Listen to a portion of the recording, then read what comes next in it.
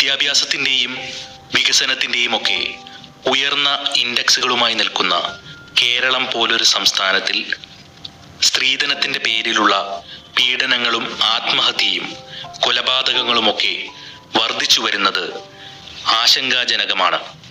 സൂരജ് എന്ന യുവാവ് സ്ത്രീധനമായി കിട്ടാവുന്നത്ര പണവും സ്വത്തുക്കളും നേടിയെടുത്ത ശേഷം ഇനിയൊന്നും കിട്ടാനില്ലെന്ന് വന്നപ്പോൾ ഭാര്യ ഉത്രയെ വിഷപ്പാമ്പിനെ വാടകയ്ക്കെടുത്ത് കടിപ്പിച്ചു കൊലപ്പെടുത്തിയത് ഇന്ത്യയിൽ തന്നെ അപൂർവങ്ങളിൽ അപൂർവമായ കേസാണെന്നാണ് കോടതിയും പോലീസുമൊക്കെ നിരീക്ഷിച്ചത്.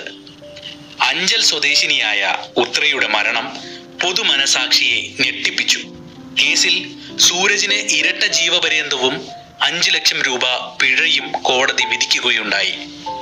രണ്ടായിരത്തി ഇരുപത് മെയ് ഏഴിന് ഉത്രയുടെ കൊലപാതകം കഴിഞ്ഞതിന് ശേഷം ഒരു വർഷം കഴിഞ്ഞ് രണ്ടായിരത്തി ഇരുപത്തിയൊന്ന് ജൂൺ ഇരുപത്തിയൊന്നിനാണ് കൊല്ലം ശാസ്താംകോട്ടയിൽ ഇരുപത്തിനാലുകാരിയായ വിസ്മയെ മോട്ടോർ വെഹിക്കിൾ ഇൻസ്പെക്ടറായ ഭർത്താവ് കിരൺകുമാർ അതിക്രൂരമായി മർദ്ദിച്ചതിന്റെയും വിസ്മയെ മരണപ്പെട്ട നിലയിൽ കണ്ടെത്തിയതിന്റെയും വാർത്തകൾ പുറത്തു വരുന്നത് വിസ്മയുടെ കുടുംബം പറയുന്നത് പ്രകാരം അവർ വിവാഹ സമയത്ത് നൂറു പവൻ സ്വർണവും ഒന്നേകാൽ ഏക്കർ ഭൂമിയും ഒരു കാറുമെല്ലാം സ്ത്രീധനമായി കിരൺകുമാറിന് നൽകിയിരുന്നു. എന്നാൽ നൽകിയ കാറിൽ തൃപ്തനല്ലാത്തതിനാലാണ് കിരൺകുമാർ വിസ്മയെ ക്രൂരമായി പീഡനങ്ങൾക്കിരയാക്കിയത്. മുഖത്ത് ചവിട്ടേറ്റതിന്റെയും ക്രൂരമായി മർദ്ദിക്കപ്പെട്ടതിന്റെയും തെളിവുകൾ സഹിതം താൻ അനുഭവിച്ച പീഡനങ്ങളെക്കുറിച്ച് മരിക്കുന്നതിന് മുമ്പ് വിസ്മയ തന്റെ പ്രിയപ്പെട്ടവർക്ക് അയച്ച സന്ദേശങ്ങൾ കണ്ട് പൊതുസമൂഹം സ്ത്രീധനത്തിന്റെ ഭീതിജനകമായ വശങ്ങളെക്കുറിച്ച് ഓർത്ത് വീണ്ടും ഞെട്ടിത്തരിച്ചു നിൽക്കുമ്പോഴാണ്. തിരുവനന്തപുരത്തെ വെടിഞ്ഞത്ത് നിന്നും ആലപ്പുഴയിലെ വള്ളിക്കുന്നത്ത് നിന്നുമെല്ലാം സ്ത്രീധനത്തിന്റെ പേരിലുള്ള മരണങ്ങൾ വീണ്ടും റിപ്പോർട്ട് ചെയ്യപ്പെട്ടത്. ഇരുപത്തിനാലുകാരിയായ അർച്ചനയെ വിഴിഞ്ഞത്തെ വാടക വീട്ടിൽ പൊള്ളലേറ്റ നിലയിൽ കണ്ടെത്തുകയായിരുന്നുവെങ്കിൽ വള്ളിക്കുന്നത്തെ ഭർത്തൃ വീട്ടിൽ തൂങ്ങി മരിച്ച നിലയിലാണ് പത്തൊമ്പതുകാരിയായ സുചിത്രയെ കാണപ്പെട്ടത്. സ്ത്രീധനത്തിന്റെ പേരിലുള്ള പീഡനങ്ങളെ തുടർന്ന് തിരുവനന്തപുരത്തെ വെമ്പായത്തെ വീട്ടിൽ വെച്ച് പ്രിയങ്ക എന്ന യുവതി ആത്മഹത്യ ചെയ്തതുമായി ബന്ധപ്പെട്ട് സിനിമാ താരം കൂടിയായ ഉണ്ണി പി ദേവിനെ പോലീസ് അറസ്റ്റ് ചെയ്തിരുന്നു. ഇങ്ങനെ തുടർന്നുകൊണ്ടേയിരിക്കുന്ന ഒട്ടനവധി മരണങ്ങൾ. ഇന്ത്യൻ പാർലമെന്റിൽ സ്ത്രീധന നിരോധന നിയമം പാസാക്കിയിട്ട് അറുപത് വർഷം പിന്നിട്ടു. ഈ നിയമത്തിൽ പഴുതുകളുണ്ടെന്ന് കണ്ടെത്തിയതിനെ തുടർന്ന് രണ്ടായിരത്തി അഞ്ചിൽ ഗാർഹിക പീഡന സംരക്ഷണ നിയമവും പാസാക്കി. സ്ത്രീധനവുമായി ബന്ധപ്പെട്ട് ആയിരത്തി തൊണ്ണൂറ്റി ആറ് കേസുകളാണ് രണ്ടായിരത്തി പത്ത് ജനുവരി മുതൽ രണ്ടായിരത്തി ഇരുപത്തി ഒന്ന് ജൂൺ ഇരുപത്തിമൂന്ന് വരെ വനിതാ കമ്മീഷനിൽ മാത്രം റിപ്പോർട്ട് ചെയ്യപ്പെട്ടത്. കേരള പോലീസിന്റെ ക്രൈം റെക്കോർഡുകൾ പ്രകാരം പതിമൂന്ന് വർഷത്തിനിടെ സ്ത്രീധനവുമായി ബന്ധപ്പെട്ട പ്രശ്നങ്ങളെ തുടർന്ന് ഇരുന്നൂറ്റി പന്ത്രണ്ട് മരണങ്ങൾ നടന്നിട്ടുണ്ട്. അനുദിനം ഈ കണക്കുകൾ വർദ്ധിച്ചുകൊണ്ടേയിരിക്കുകയാണ്. ആകെ സംഭവിക്കുന്നതിന്റെ പത്ത് ശതമാനം മാത്രമാണ് റിപ്പോർട്ട് ചെയ്യുന്നതെന്നാണ് നിയമവിദഗ്ധർ പറയുന്നത്. അപ്പോൾ യഥാർത്ഥ അവസ്ഥ എത്ര ഭയാനകരമാണെന്ന് ഒന്ന് ആലോചിച്ചു നോക്കൂ. മകളുടെ സുരക്ഷിതമായ ഭാവിയെ ഓർത്ത് ആവശ്യപ്പെടുന്ന സ്വർണവും പണവും കാറും എല്ലാം നൽകി വിവാഹം നടത്തുന്ന എത്രയെത്ര പെൺകുട്ടികളാണ്. ആർത്തിപ്പണ്ടാരങ്ങളുടെ അത്യാഗ്രഹത്തിനൊടുവിൽ തീ കൊളുത്തുകയും വിഷം കുടിച്ചും ഒരു മുഴം കയറിലും ജീവനൊടുക്കുന്നത്. ഇത് കൂടാതെ കൊലപ്പെടുത്തുന്നത് വേറെ. എന്നാൽ എന്തിന്റെ പേരിലാണെങ്കിലും സ്ത്രീധനം വാങ്ങുന്നത് പോലെ തന്നെ കൊടുക്കുന്നതും ന്യായീകരിക്കാൻ കഴിയുന്ന ഒന്നല്ല. നിയമ നടപടികൾക്കൊപ്പം മനുഷ്യന്റെ മനോഭാവത്തിലും കാഴ്ചപ്പാടിലും സമൂലമായ മാറ്റമുണ്ടായാൽ മാത്രമേ സ്ത്രീധനത്തെ ചൊല്ലിയുള്ള തർക്കങ്ങളും കുറ്റകൃത്യങ്ങളും ഇല്ലായ്മ ചെയ്യാൻ കഴിയൂ. കോവിഡ് പോലെയുള്ള മഹാമാരികൾക്ക് വരെ പ്രതിരോധ മരുന്നുകൾ കണ്ടുപിടിക്കുവാൻ നമുക്ക് കഴിയുന്നുണ്ട്. എന്നാൽ സ്ത്രീധനം എന്ന വിപത്തിനെതിരെ നമുക്ക് എന്താണ് ചെയ്യാൻ കഴിയുന്നത്? അത് കവർന്നെടുക്കുന്ന ജീവനുകളെ കുറിച്ച് അതിന്റെ വ്യാപ്തി എത്രത്തോളം ഉണ്ടെന്നും അറിയാനായി തുടർന്നും കേൾക്കൂ. രണ്ടായിരത്തി പതിനെട്ട് മാർച്ച് ഇരുപത്തിയഞ്ചിനാണ് കൊല്ലം ജില്ലയിലെ അഞ്ചൽ ഏറം സ്വദേശിയായ ഉത്രയുടെ വിവാഹം നടക്കുന്നത്. നൂറ് പവനിലേറെ സ്വർണവും ഏഴ് ലക്ഷം രൂപയോളം വിലയുള്ള കാറുമെല്ലാം സമ്മാനമായി നൽകിയാണ് വിജയസേനനും മണിമേഖലയും മകളെ സൂരജിന് വിവാഹം കഴിച്ചു നൽകിയത്. വിവാഹത്തിന് ശേഷം സൂരജിന്റെ അച്ഛന് വാഹനം വാങ്ങാനുള്ള പണം നൽകിയതും ഉത്രയുടെ കുടുംബമായിരുന്നു. ഇതിനു പുറമെ പല കാര്യങ്ങൾ പറഞ്ഞ് സൂരജ് ഉത്രയുടെ വീട്ടിൽ നിന്നും പണം ആവശ്യപ്പെട്ടുകൊണ്ടേയിരുന്നു. ഉത്രയുടെ അമ്മയുടെ നാലു പവൻ വരുന്ന ആഭരണങ്ങളും കുഞ്ഞിന് സമ്മാനമായി ലഭിച്ച പന്ത്രണ്ട് പവനോളം സ്വർണവുമെല്ലാം തന്ത്രപൂർവം സൂരജ് കൈക്കലാക്കി. മകളുടെ നല്ല ഭാവിയെ കരുതി അനിഷ്ടങ്ങളൊന്നുമില്ലാതെ ഉത്രയുടെ കുടുംബം പണം നൽകുകയും ചെയ്തു. വിവാഹം കഴിഞ്ഞ് രണ്ടു വർഷത്തോളം ഈ കൊടുക്കൽ വാങ്ങലുകൾ തുടർന്നുകൊണ്ടേയിരുന്നു. എന്നാൽ സൂരജിന്റെ പണത്തോടുള്ള ആർത്തി അടങ്ങിയിരുന്നില്ല. ഉത്രയെ ഇല്ലാതാക്കി ഉത്രയുടെ സ്വത്തുക്കൾ കൈക്കലാക്കാൻ സൂരജ് തീരുമാനിക്കുകയായിരുന്നു. അതിനുശേഷം മറ്റൊരു വിവാഹം കഴിച്ച് വീണ്ടും സ്ത്രീധനം വാങ്ങണമെന്നും തീരുമാനിച്ചുറപ്പിച്ചാണ് സൂരജ് ഉത്രയെ പാമ്പിനെ കൊണ്ട് കടിപ്പിച്ചത്. ഉത്രയുടെ കുടുംബം നൽകിയ സ്വർണത്തിന്റെ ഏറിയ പങ്കും സൂരജ് ദൂർത്തടിച്ച് കളഞ്ഞു. ഉത്രയുടെയും സൂരജിന്റെയും പേരിൽ സംയുക്തമായാണ് ബാങ്ക് ലോക്കർ തുറന്നതെങ്കിലും അതിന്റെ താക്കോൽ സൂരജിന്റെ പക്കലായിരുന്നു. അതുകൊണ്ട് തന്നെ ബാങ്കിൽ നിന്ന് സ്വർണം സൂരജ് എടുത്ത് വിറ്റിരുന്നതും പണം വെച്ചിരുന്നതുമെന്നും ആരും അറിഞ്ഞില്ല. ഈ സ്വർണത്തിൽ കേവലം മുപ്പത്തെട്ട് പവൻ മാത്രമാണ് പോലീസിന് കണ്ടെടുക്കാനായത്. അതും സൂരജിന്റെ വീട്ടിൽ കുഴിച്ചിട്ട നിലയിലായിരുന്നു. പിന്നീട് ഉത്രയ്ക്ക് വിവാഹ സമ്മാനമായി നൽകിയ കാർ മാത്രമാണ് വീട്ടുകാർക്ക് കോടതിയിൽ നിന്ന് വീണ്ടെടുക്കാനായത്. പാമ്പിനെ കൊണ്ട് കടിപ്പിച്ച മൂന്നാമത്തെ ശ്രമത്തിലാണ് ഉത്ര മരിച്ചത്. ആദ്യ ശ്രമം നടന്നത് രണ്ടായിരത്തി ഇരുപത് ഫെബ്രുവരി ഇരുപത്തി ഒമ്പതിനായിരുന്നു ഗോവണിപ്പടിയിൽ പാമ്പിനെ ഇട്ടെങ്കിലും അന്ന് ഉത്രയെ പാമ്പ് കടിച്ചില്ല. ഒരു ശ്രമം പരാജയപ്പെട്ടു എന്നു കരുതി സൂരജ് പിന്മാറുവാൻ തയ്യാറായിരുന്നില്ല. മാർച്ച് രണ്ടിന് അടൂരിൽ സൂരജിന്റെ വീട്ടിൽ വെച്ച് നടത്തിയ രണ്ടാമത്തെ ശ്രമത്തിൽ ഉത്രയ്ക്ക് അണലിയുടെ കടിയേറ്റു. ആറ് ഡോളോ ഗുളിക പായസത്തിൽ ചേർത്ത് നൽകിയ ശേഷമായിരുന്നു അന്ന് കൃത്യത്തിന് ശ്രമിച്ചത്.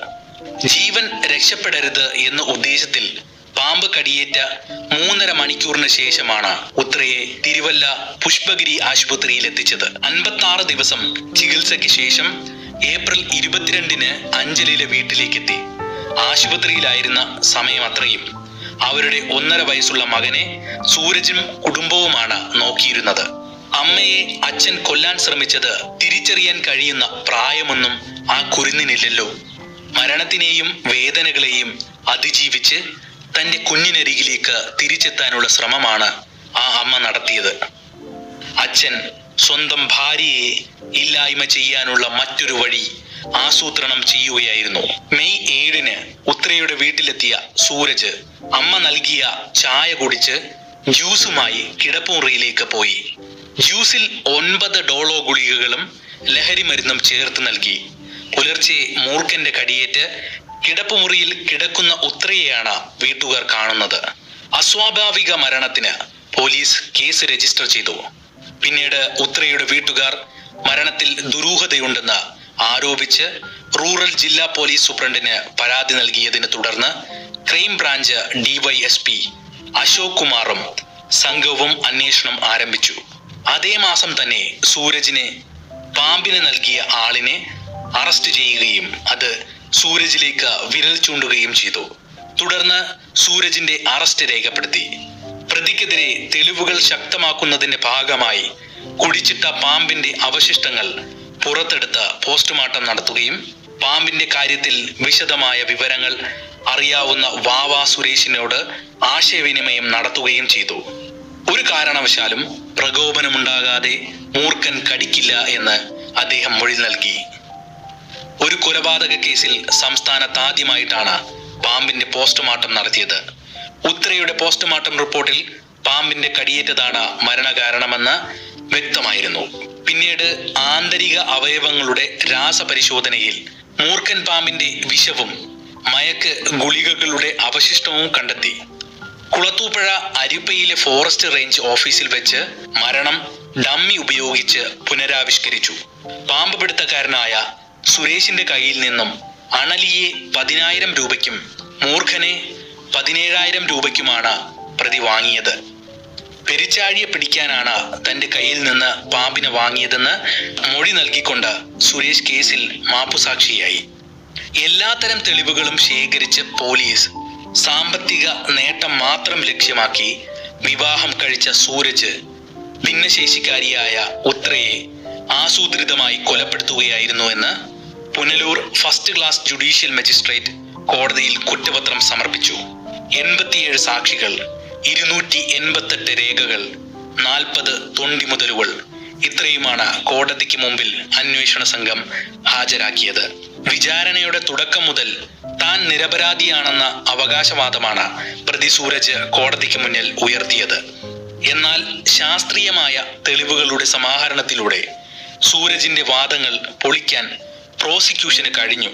പിന്നീട് ഗാർഹിക പീഡനം തെളിവ് നശിപ്പിക്കൽ വിശ്വാസ വഞ്ചന എന്നിവ നടത്തിയെന്ന പേരിൽ സൂരജിന്റെ അച്ഛൻ സുരേന്ദ്ര പണിക്കർ അമ്മ രേണുക സഹോദരി സൂര്യ എന്നിവരെ പ്രതിയാക്കി കേസെടുത്ത് കുറ്റപത്രം സമർപ്പിക്കുകയും ചെയ്തു. രണ്ടായിരത്തി ഇരുപത്തിയൊന്ന് ഒക്ടോബർ പതിമൂന്നിന് പ്രതി സൂരജിന് ഇരട്ട ജീവപര്യന്തവും അഞ്ച് ലക്ഷം രൂപയും കോടതി ശിക്ഷ വിധിച്ചു. അപൂർവങ്ങളിൽ അപൂർവമായി കോടതി തന്നെ പരാമർശിച്ച കേസിൽ പ്രായവും മുൻകാലങ്ങളിൽ കുറ്റകൃത്യങ്ങളിൽ പങ്കാളിയായിട്ടില്ല എന്നതുമാണ് തൂക്കുകയറിൽ നിന്ന് സൂരജിനെ രക്ഷിച്ചത്. ഇന്ത്യൻ ശിക്ഷാ നിയമം മുന്നൂറ്റി രണ്ടാം വകുപ്പ് പ്രകാരം ആസൂത്രിത കൊല മുന്നൂറ്റി ഏഴാം വകുപ്പ് പ്രകാരം നരഹത്യാശ്രമം മുന്നൂറ്റി ഇരുപത്തിയെട്ടാം വകുപ്പ് അനുസരിച്ച് വിഷം നൽകി പരിക്കേൽപ്പിക്കൽ ഇരുന്നൂറ്റി ഒന്നാം വകുപ്പ് പ്രകാരം തെളിവ് നശിപ്പിക്കൽ എന്നീ കുറ്റകൃത്യങ്ങൾ തെളിഞ്ഞതായി കോടതി കണ്ടെത്തിയിരുന്നു. ഇതിൽ കൊലപാതകം ഒഴികെ ബാക്കി എല്ലാ കുറ്റങ്ങളിലും പരമാവധി ശിക്ഷയാണ് സൂരജിന് ലഭിച്ചത്. വധശിക്ഷയ്ക്ക് സുപ്രീം കോടതി നിശ്ചയിച്ചിട്ടുള്ള അഞ്ചു കുറ്റങ്ങളിൽ നാലിലും പ്രതിയായ സൂരജ് ചെയ്തെന്ന പ്രോസിക്യൂഷൻ കോടതിയിൽ ചൂണ്ടിക്കാട്ടിയിരുന്നു. നഷ്ടപരിഹാരമായി അടയ്ക്കേണ്ട അഞ്ചു ലക്ഷം രൂപ ഉത്രയുടെ കുഞ്ഞിന് നൽകണമെന്നാണ് കോടതി വിധി. ഇതിനു പുറമെ ലീഗൽ സർവീസ് അതോറിറ്റിയോട് കുട്ടിക്ക് വിക്ടിം കോമ്പൻസേഷൻ നൽകാനും നിർദ്ദേശമുണ്ട്. വിഷവസ്തു ഉപയോഗിച്ചുള്ള കൊലപാതകത്തിന് പത്തു വർഷം. തെളിവ് നശിപ്പിച്ചതിന് ഏഴു വർഷം. നേരത്തെ നടത്തിയ വധശ്രമത്തിന് ജീവപര്യന്തം. കൊലപാതകത്തിന് ജീവപര്യന്തം. അങ്ങനെയാണ് കോടതി വിധി. പത്തു വർഷത്തെയും ഏഴു വർഷത്തെയും തടവിന് ശേഷമാണ് ഇരട്ട ജീവപര്യന്തം തടവ് തുടങ്ങുകയെന്നാണ് വിധി. അതായത് പതിനേഴ് വർഷത്തിന് ശേഷം മാത്രമേ ഇരട്ട ജീവപര്യന്തം തടവ് തുടങ്ങുകയുള്ളൂ. ഇരുപത്തിയേഴാം വയസ്സുകാരനായ സൂരജിന് നാൽപ്പത്തിനാലാം വയസ്സിലായിരിക്കും ആദ്യ ജീവപര്യന്തം അവസാനിക്കുക. പല കേസുകളിലും തടവ് ശിക്ഷ ഒരുമിച്ച് അനുഭവിച്ചാൽ മതിയെന്ന് കോടതി വ്യക്തമാക്കാറുണ്ടെങ്കിലും ഈ കേസിൽ ഓരോ ശിക്ഷയും പ്രത്യേകമായി അനുഭവിക്കണമെന്ന് വ്യക്തമാക്കിയിട്ടുണ്ട്. അതായത് മേൽക്കോടതി വിധികളോ സർക്കാർ തീരുമാനങ്ങളോ ഉണ്ടായില്ലെങ്കിൽ ജീവിതാവസാനം വരെ തടവിൽ കിടക്കണം. രാജ്യത്തെ കുറ്റാന്വേഷണ ചരിത്രത്തിൽ തന്നെ ഏറെ പ്രാധാന്യമുള്ള കേസായാണ് ഉത്ര കേസ് ഇപ്പോൾ പരിഗണിക്കപ്പെടുന്നത്. രാജ്യത്ത് ഇതിനു മുൻപ് രണ്ട് തവണ പാമ്പിനെ ഉപയോഗിച്ച് ആളുകളെ കൊലപ്പെടുത്തിയ സംഭവം റിപ്പോർട്ട് ചെയ്തിട്ടുണ്ട്. മഹാരാഷ്ട്രയിലെ പൂനെയിലും നാഗ്പൂരിലുമായിരുന്നു അത്. എന്നാൽ ഈ രണ്ട് കേസിലും തെളിവുകളുടെ അഭാവത്തിൽ പ്രതികളെ വിചാരണ കോടതികൾ വെറുതെ വിടുകയായിരുന്നു. ഇവിടെ അങ്ങനെ ഉണ്ടാകാത്തതുകൊണ്ട് ഉത്രയ്ക്ക് നീതി ലഭിച്ചു എന്ന് പറയാം. എന്നാൽ ഒന്ന് ഒന്നാലോചിച്ചു നോക്കിയാൽ അത് നിയമത്തിന്റെ പരിരക്ഷയിലുള്ള നീതി മാത്രമല്ലേ? ഒരു മനുഷ്യൻ എന്ന നിലയിൽ ഒരു സ്ത്രീ എന്ന നിലയിൽ ഈ സമൂഹത്തിന്റെ അരാജകമായ വ്യവസ്ഥകൾ കാരണമല്ലേ അവൾക്ക് ജീവൻ നഷ്ടപ്പെട്ടത്? ആ ജീവന് പകരമാവാൻ ഒന്നിനും കഴിയില്ലെന്നിരിക്കെ ശിക്ഷാവിധികൾക്കപ്പുറത്ത് ഇല്ലാതാകേണ്ടത് സ്ത്രീകളെ കമ്പോള ചരക്കുകളാക്കുന്ന സ്ത്രീധനം എന്ന മഹാമാരി തന്നെയാണ്. ഉത്രയിൽ നിന്ന് നമ്മൾ അടുത്ത് കേട്ട പേരാണ് വിസ്മയ. ഇതിനിടയിൽ നമ്മൾ കേൾക്കാതെ പോയ ഒട്ടനവധി പേരുകളും ജീവനുകളും ഉണ്ടാകുമെന്നത് തീർച്ചയാണ്. നിലമേൽ കൈതോട് സ്വദേശിയായ വിസ്മയ വി നായരും ശാസ്താംകോട്ട ശാസ്താ നടയിലുള്ള കിരൺകുമാറുമായുള്ള വിവാഹം നടക്കുന്നത് രണ്ടായിരത്തി പത്തൊമ്പത് മെയ് മുപ്പത്തിയൊന്നിനാണ്. പുറമേ നിന്ന് നോക്കുമ്പോൾ ആർക്കും ഒരു പ്രശ്നവും തോന്നാത്ത സന്തുഷ്ട കുടുംബം. സർക്കാർ ജീവനക്കാരനായ കിരൺകുമാർ മോട്ടോർ വാഹന വകുപ്പിൽ അസിസ്റ്റന്റ് മോട്ടോർ വെഹിക്കിൾ ഇൻസ്പെക്ടറായിരുന്നു വിസ്മയയാവട്ടെ ബി എ എം എസ് വിദ്യാർത്ഥിയും. വിവാഹം കഴിഞ്ഞ് രണ്ട് വർഷങ്ങൾക്ക് ശേഷം രണ്ടായിരത്തി ഇരുപത്തി ഒന്ന് ജൂൺ ഇരുപത്തിയൊന്നിന് വിസ്മയ ഭർത്താവിന്റെ വീട്ടിൽ മരിച്ച നിലയിൽ കണ്ടെത്തി. വിസ്മയയുടെ മരണം ആത്മഹത്യയല്ലെന്നും മകളെ ഭർത്താവ് നിരന്തരം പീഡിപ്പിച്ചിരുന്നുവെന്നും ഇതൊരു കൊലപാതകമാണെന്നും കുടുംബം ആരോപിച്ചു. മരിക്കുന്നതിന് തലേ ദിവസം വിസ്മയ തന്റെ സഹോദരൻ അയച്ച വാട്സപ്പ് സന്ദേശത്തിൽ തനിക്ക് നേരിട്ട ഉപദ്രവങ്ങളെക്കുറിച്ച് വിശദമായി പ്രതിപാദിച്ചിരുന്നു. നൂറ്റിയൊന്ന് പവൻ സ്വർണവും ഒന്നേകാൽ ഏക്കർ സ്ഥലവും പത്ത് ലക്ഷം രൂപയുടെ കാറും നൽകാമെന്ന ഉറപ്പിലാണ് വിവാഹം നടക്കുന്നത്. കോവിഡ് പ്രതിസന്ധികൾ കാരണം അതിൽ എൺപത് പവൻ സ്വർണം മാത്രമേ നൽകാനായുള്ളൂ. ടൊയോട്ട യാരിസ് കാറാണ് വാങ്ങിയത്. എന്നാൽ കാറ് കിരണ് ഇഷ്ടമായില്ല. ഹോണ്ട സിറ്റിയാണ് തനിക്ക് വേണ്ടിയിരുന്നതെന്നും വാങ്ങിയ കാറിന് പത്ത് ലക്ഷം രൂപ മൂല്യമില്ലെന്നും പറഞ്ഞായിരുന്നു കിരൺ വിസ്മയെ ഉപദ്രവിച്ചിരുന്നത്. മരണത്തിന് കുറച്ചു മാസങ്ങൾ മുൻപ് നിലമയിലുള്ള വിസ്മയുടെ വീട്ടിൽ പാതിരാത്രി മദ്യപിച്ചെത്തിയ കിരൺ കാറിന്റെ കാര്യം പറഞ്ഞ് വിസ്മയെയും സഹോദരൻ വിജിത്തിനെയും മർദ്ദിച്ചിരുന്നു.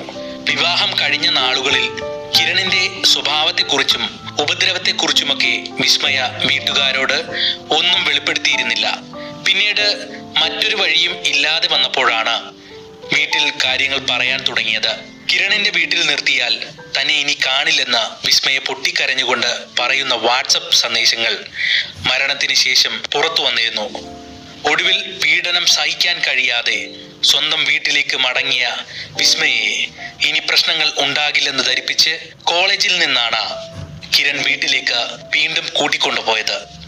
ഇതിന്റെയൊക്കെ അടിസ്ഥാനത്തിലാണ് മകളുടേത് ആത്മഹത്യ അല്ലെന്ന് കുടുംബം ആരോപണങ്ങൾ ഉന്നയിക്കുന്നത്. വീട്ടുകാരുടെ പരാതി ലഭിച്ചതിനെ തുടർന്ന് ഒളിവിലായിരുന്ന ഭർത്താവ് കിരൺകുമാറിനെ പോലീസ് അറസ്റ്റ് ചെയ്തു. അതേ ദിവസം തന്നെ കിരൺകുമാറിനെ ജോലിയിൽ നിന്ന് സസ്പെൻഡ് ചെയ്യുകയും ചെയ്തു. വിസ്മയയുടെ മരണം അന്വേഷിക്കാൻ ദക്ഷിണ മേഖല ഐ ജി ആയിരുന്ന ഹർഷിത അട്ടല്ലൂരിനെ ചുമതലപ്പെടുത്തി. ഇതിനിടയിൽ വിസ്മയുടേത് തൂങ്ങി മരണമാണെന്ന് വ്യക്തമാക്കുന്ന പോസ്റ്റ്മോർട്ടം റിപ്പോർട്ട് പുറത്തു വന്നു. കിരണിനെ പോലീസ് കസ്റ്റഡിയിൽ വാങ്ങി. അതേ ദിവസം തന്നെ ഗവർണർ ആരിഫ് മുഹമ്മദ് ഖാൻ വിസ്മയുടെ വീട് സന്ദർശിച്ചു. വിദ്യാഭ്യാസം ആരോഗ്യം സംസ്കാരം തുടങ്ങി മറ്റ് സംസ്ഥാനങ്ങളെ അപേക്ഷിച്ച് നോക്കുമ്പോൾ കേരളം എല്ലാ കാര്യത്തിലും മുൻപന്തിയിലായിട്ടും ഇത്തരം കുറ്റകൃത്യങ്ങൾ സംഭവിക്കുന്നതിൽ അദ്ദേഹം ഖേദം രേഖപ്പെടുത്തി.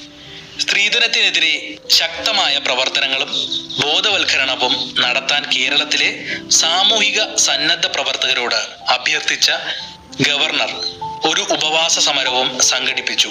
സ്ത്രീധനം ആവശ്യപ്പെടുന്നതും നൽകുന്നതുമായ രീതി ഒരിക്കലും പ്രോത്സാഹിപ്പിക്കരുതെന്നും സ്ത്രീധനം കൊടുക്കുന്നുണ്ടെന്ന് അറിഞ്ഞാൽ അത്തരം വിവാഹത്തിന് പങ്കെടുക്കില്ലെന്ന് പറയുന്ന സാഹചര്യം ഉണ്ടാവണമെന്നും ഗവർണർ ഉണർത്തുകയുണ്ടായി.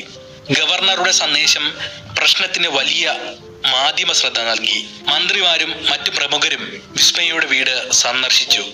എൺപത് ദിവസത്തിനുള്ളിൽ കേസിൽ കുറ്റപത്രം സമർപ്പിച്ചു. നൂറ്റിരണ്ട് സാക്ഷിമൊഴികളും തൊണ്ണൂറ്റിയെട്ട് രേഖകളും അൻപത്തി ആറ് തൊണ്ടിമുതലുകളും അടങ്ങിയ കുറ്റപത്രത്തിൽ ഭർത്താവ് തന്നോട് കാണിക്കുന്ന ക്രൂരതകൾ സഹിക്കാൻ വയ്യാതെ ഒരു വ്യക്തി എന്ന നിലയിൽ തനിക്കൊരു വിലയും ഇല്ലെന്ന തോന്നലിന്റെ പുറത്താണ് അവൾ ജീവനൊടുക്കിയതെന്ന് വ്യക്തമായി പ്രതിപാദിച്ചു. പ്രതി കിരൺകുമാറിന് പത്ത് വർഷം കഠിന തടവും പന്ത്രണ്ടര ലക്ഷം രൂപ പിഴയും ശിക്ഷയായി കോടതി വിധിച്ചു. പിഴ അടച്ചില്ലെങ്കിൽ ഇരുപത്തിയേഴ് മാസവും പതിനഞ്ച് ദിവസവും കൂടി തടവ് അനുഭവിക്കണം. വിവിധ വകുപ്പുകളിൽ കിരൺകുമാറിന് ഇരുപത്തിയഞ്ച് വർഷം തടവിന് കോടതി ശിക്ഷിച്ചെങ്കിലും ശിക്ഷ ഒരുമിച്ച് അനുഭവിച്ചാൽ മതിയെന്ന വിധി പ്രസ്താവത്തിൽ ജഡ്ജി വ്യക്തമാക്കി. പിഴത്തുകയിൽ നിന്ന് രണ്ട് ലക്ഷം രൂപ വീതം വിസ്മയയുടെ മാതാപിതാക്കൾക്ക് നൽകുവാനും കോടതി ഉത്തരവിട്ടു. സ്ത്രീധന നിരോധന നിയമപ്രകാരം ഇത്ര വലിയ തുക പിഴ ഈടാക്കുന്നത് ഇത് ആദ്യമായാണ്. ശിക്ഷയെക്കുറിച്ച് എന്തെങ്കിലും പറയാനുണ്ടോ എന്ന് ചോദ്യത്തിന് മാതാപിതാക്കൾ പ്രായമുള്ളവരും രോഗമുള്ളവരുമാണെന്നും അവർക്ക് താൻ മാത്രമാണ് ആശ്രയമെന്നതിനാൽ കനിവുണ്ടാകണം എന്നുമാണ് കിരൺ കോടതിയിൽ പറഞ്ഞത്. എന്നാൽ ശിക്ഷ ഒരു വ്യക്തിക്ക് മാത്രം വിധിക്കുന്നതല്ലെന്നും അത് സ്ത്രീധനം എന്ന സാമൂഹിക വിപത്തിനെതിരെ കൂടിയാണെന്നും അതിനാൽ സമൂഹത്തിന് മാതൃകയാവുന്ന ശിക്ഷ വേണമെന്നും സ്പെഷ്യൽ പബ്ലിക് പ്രോസിക്യൂട്ടർ വാദിക്കുകയുണ്ടായി. തിരിച്ചറിവും വിദ്യാഭ്യാസവുമൊക്കെയുള്ള ചെറുപ്പക്കാർക്ക് തന്നെ തെറ്റും ശരിയും മനസ്സിലാകാതെ പോകുന്നത് ദയനീയമായ അവസ്ഥയാണ്. മിക്കവാറും ഇത്തരം കേസുകളിൽ പ്രതികൾക്ക് യാതൊരുവിധ കുറ്റബോധവും ഉണ്ടാകുന്നില്ലെന്നതാണ് പേടിപ്പെടുത്തുന്ന മറ്റൊരു വസ്തുത.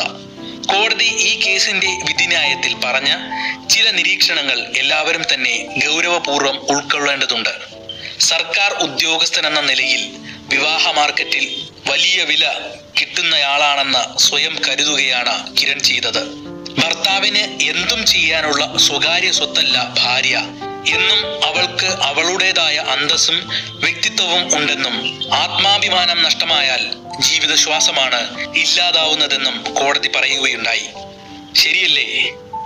മനുഷ്യബന്ധങ്ങളെ പണത്തിന്റെയും വസ്തുവകകളുടെയും പേരിൽ അളന്ന് തൂക്കിയപ്പോഴാണ് വിസ്മയക്ക് തന്റെ ആഗ്രഹങ്ങളും പ്രതീക്ഷകളും നഷ്ടപ്പെട്ടു പോയത്.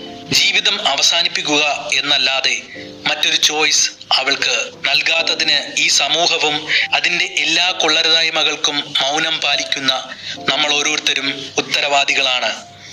മകൾക്ക് നീതി കിട്ടിയെന്ന് വിശ്വസിക്കുമ്പോഴും ഒരു ശിക്ഷാവിധിക്കും വിസ്മയയുടെ അച്ഛനായ ത്രിവിക്രമൻ നായരുടെയും അമ്മയായ സജിതയുടെയും കണ്ണുനീരിനും വേദനയ്ക്കും പരിഹാരമാകാൻ കഴിയില്ല. ഉന്നത ജോലിയും വിദ്യാഭ്യാസവുമുള്ള ഒരാൾക്കൊപ്പം. അതുപോലെ വിദ്യാഭ്യാസം നേടിയ പെൺകുട്ടിയെ അയാളുടെ എല്ലാ നിർബന്ധങ്ങൾക്കും വഴങ്ങി വിവാഹം ചെയ്തു നൽകി. ഒടുവിൽ അവളുടെ ചേതനയേറ്റ ശരീരം ഏറ്റുവാങ്ങേണ്ടി വന്ന മാതാപിതാക്കളുടെയും സഹോദരന്റെയും വിലാപം വിസ്മയയുടെ വീട്ടിൽ ഇപ്പോഴും മുഴങ്ങുന്നുണ്ടാവും. ആരും അറിയാതെ ജീവിതകാലം മുഴുവനും ഭർത്താവിന്റെ വീട്ടിൽ തടവറകൾക്കുള്ളിൽ എരിഞ്ഞടങ്ങുന്ന എത്രയോ സ്ത്രീ ജീവിതങ്ങളുണ്ട്. എന്തെങ്കിലും പ്രശ്നങ്ങൾ ഉണ്ടായാൽ മാത്രമാണ് പുറം ലോകം ഇതിനെക്കുറിച്ചൊക്കെ അറിയുന്നത്. അപ്പോഴേക്കും ഏറെ വൈകിയിട്ടുണ്ടാകും. വൈവാഹിക ജീവിതം മുന്നോട്ട് പോകണമെങ്കിൽ ചില അഡ്ജസ്റ്റ്മെന്റുകളൊക്കെ വേണം എന്ന് വിശ്വസിക്കുന്ന ഒരു കൂട്ടരാവട്ടെ. എന്ത് പ്രശ്നമുണ്ടായാലും അതിനെയൊക്കെ ന്യായീകരിച്ച് പെൺമക്കളെ ഭർത്തൃ വീട്ടിലേക്ക് വീണ്ടും തിരിച്ചയക്കും. അല്ലെങ്കിൽ പെൺകുട്ടികൾ സ്വയം മൗനം പാലിക്കും. പിന്നീട് ആ നിമിഷത്തെക്കുറിച്ച് ആലോചിച്ചിട്ടോ കുറ്റബോധം തോന്നിയിട്ടോ ഒരു കാര്യവും ഉണ്ടാകണമെന്നില്ല. പെൺകുട്ടികളെ സംബന്ധിച്ച് പലപ്പോഴും വിവാഹം കഴിക്കുന്നതോടെ അന്ന് വരെ സ്വന്തമായിട്ടുണ്ടായിരുന്നതൊക്കെ നഷ്ടപ്പെട്ട് മറ്റൊരിടത്തേക്ക് പറിച്ച് നടുകയാണ്. അതുവരെ ഉണ്ടായിരുന്ന ഇടങ്ങളൊക്കെ പെട്ടെന്നൊരു നിമിഷം ഇല്ലാതാവുകയും പുതുതായി ഉണ്ടാകുന്ന ഇടങ്ങൾ അവളുടേതാകാതെ പോവുകയും ചെയ്യുമ്പോൾ അക്ഷരാർത്ഥത്തിൽ അവൾക്ക് സ്വന്തമായി ഒരിടവും ഇല്ലാതാകുന്നു. പുതിയ തലമുറകൾക്കിടയിൽ ഈ പ്രവണതകൾക്ക് മാറ്റം വന്നു തുടങ്ങിയിട്ടുണ്ടെങ്കിലും നമ്മുടെ സാമൂഹിക ഘടനയിൽ ആഴത്തിൽ അലിഞ്ഞു ചേർന്നിട്ടുള്ള പലതിനെയും അത്ര പെട്ടെന്ന് പിഴുതുകളയാൻ സാധിക്കില്ല. എല്ലാ അർത്ഥത്തിലുമുള്ള കാര്യക്ഷമമായ മാറ്റങ്ങളാണ് നമുക്ക് വേണ്ടത്?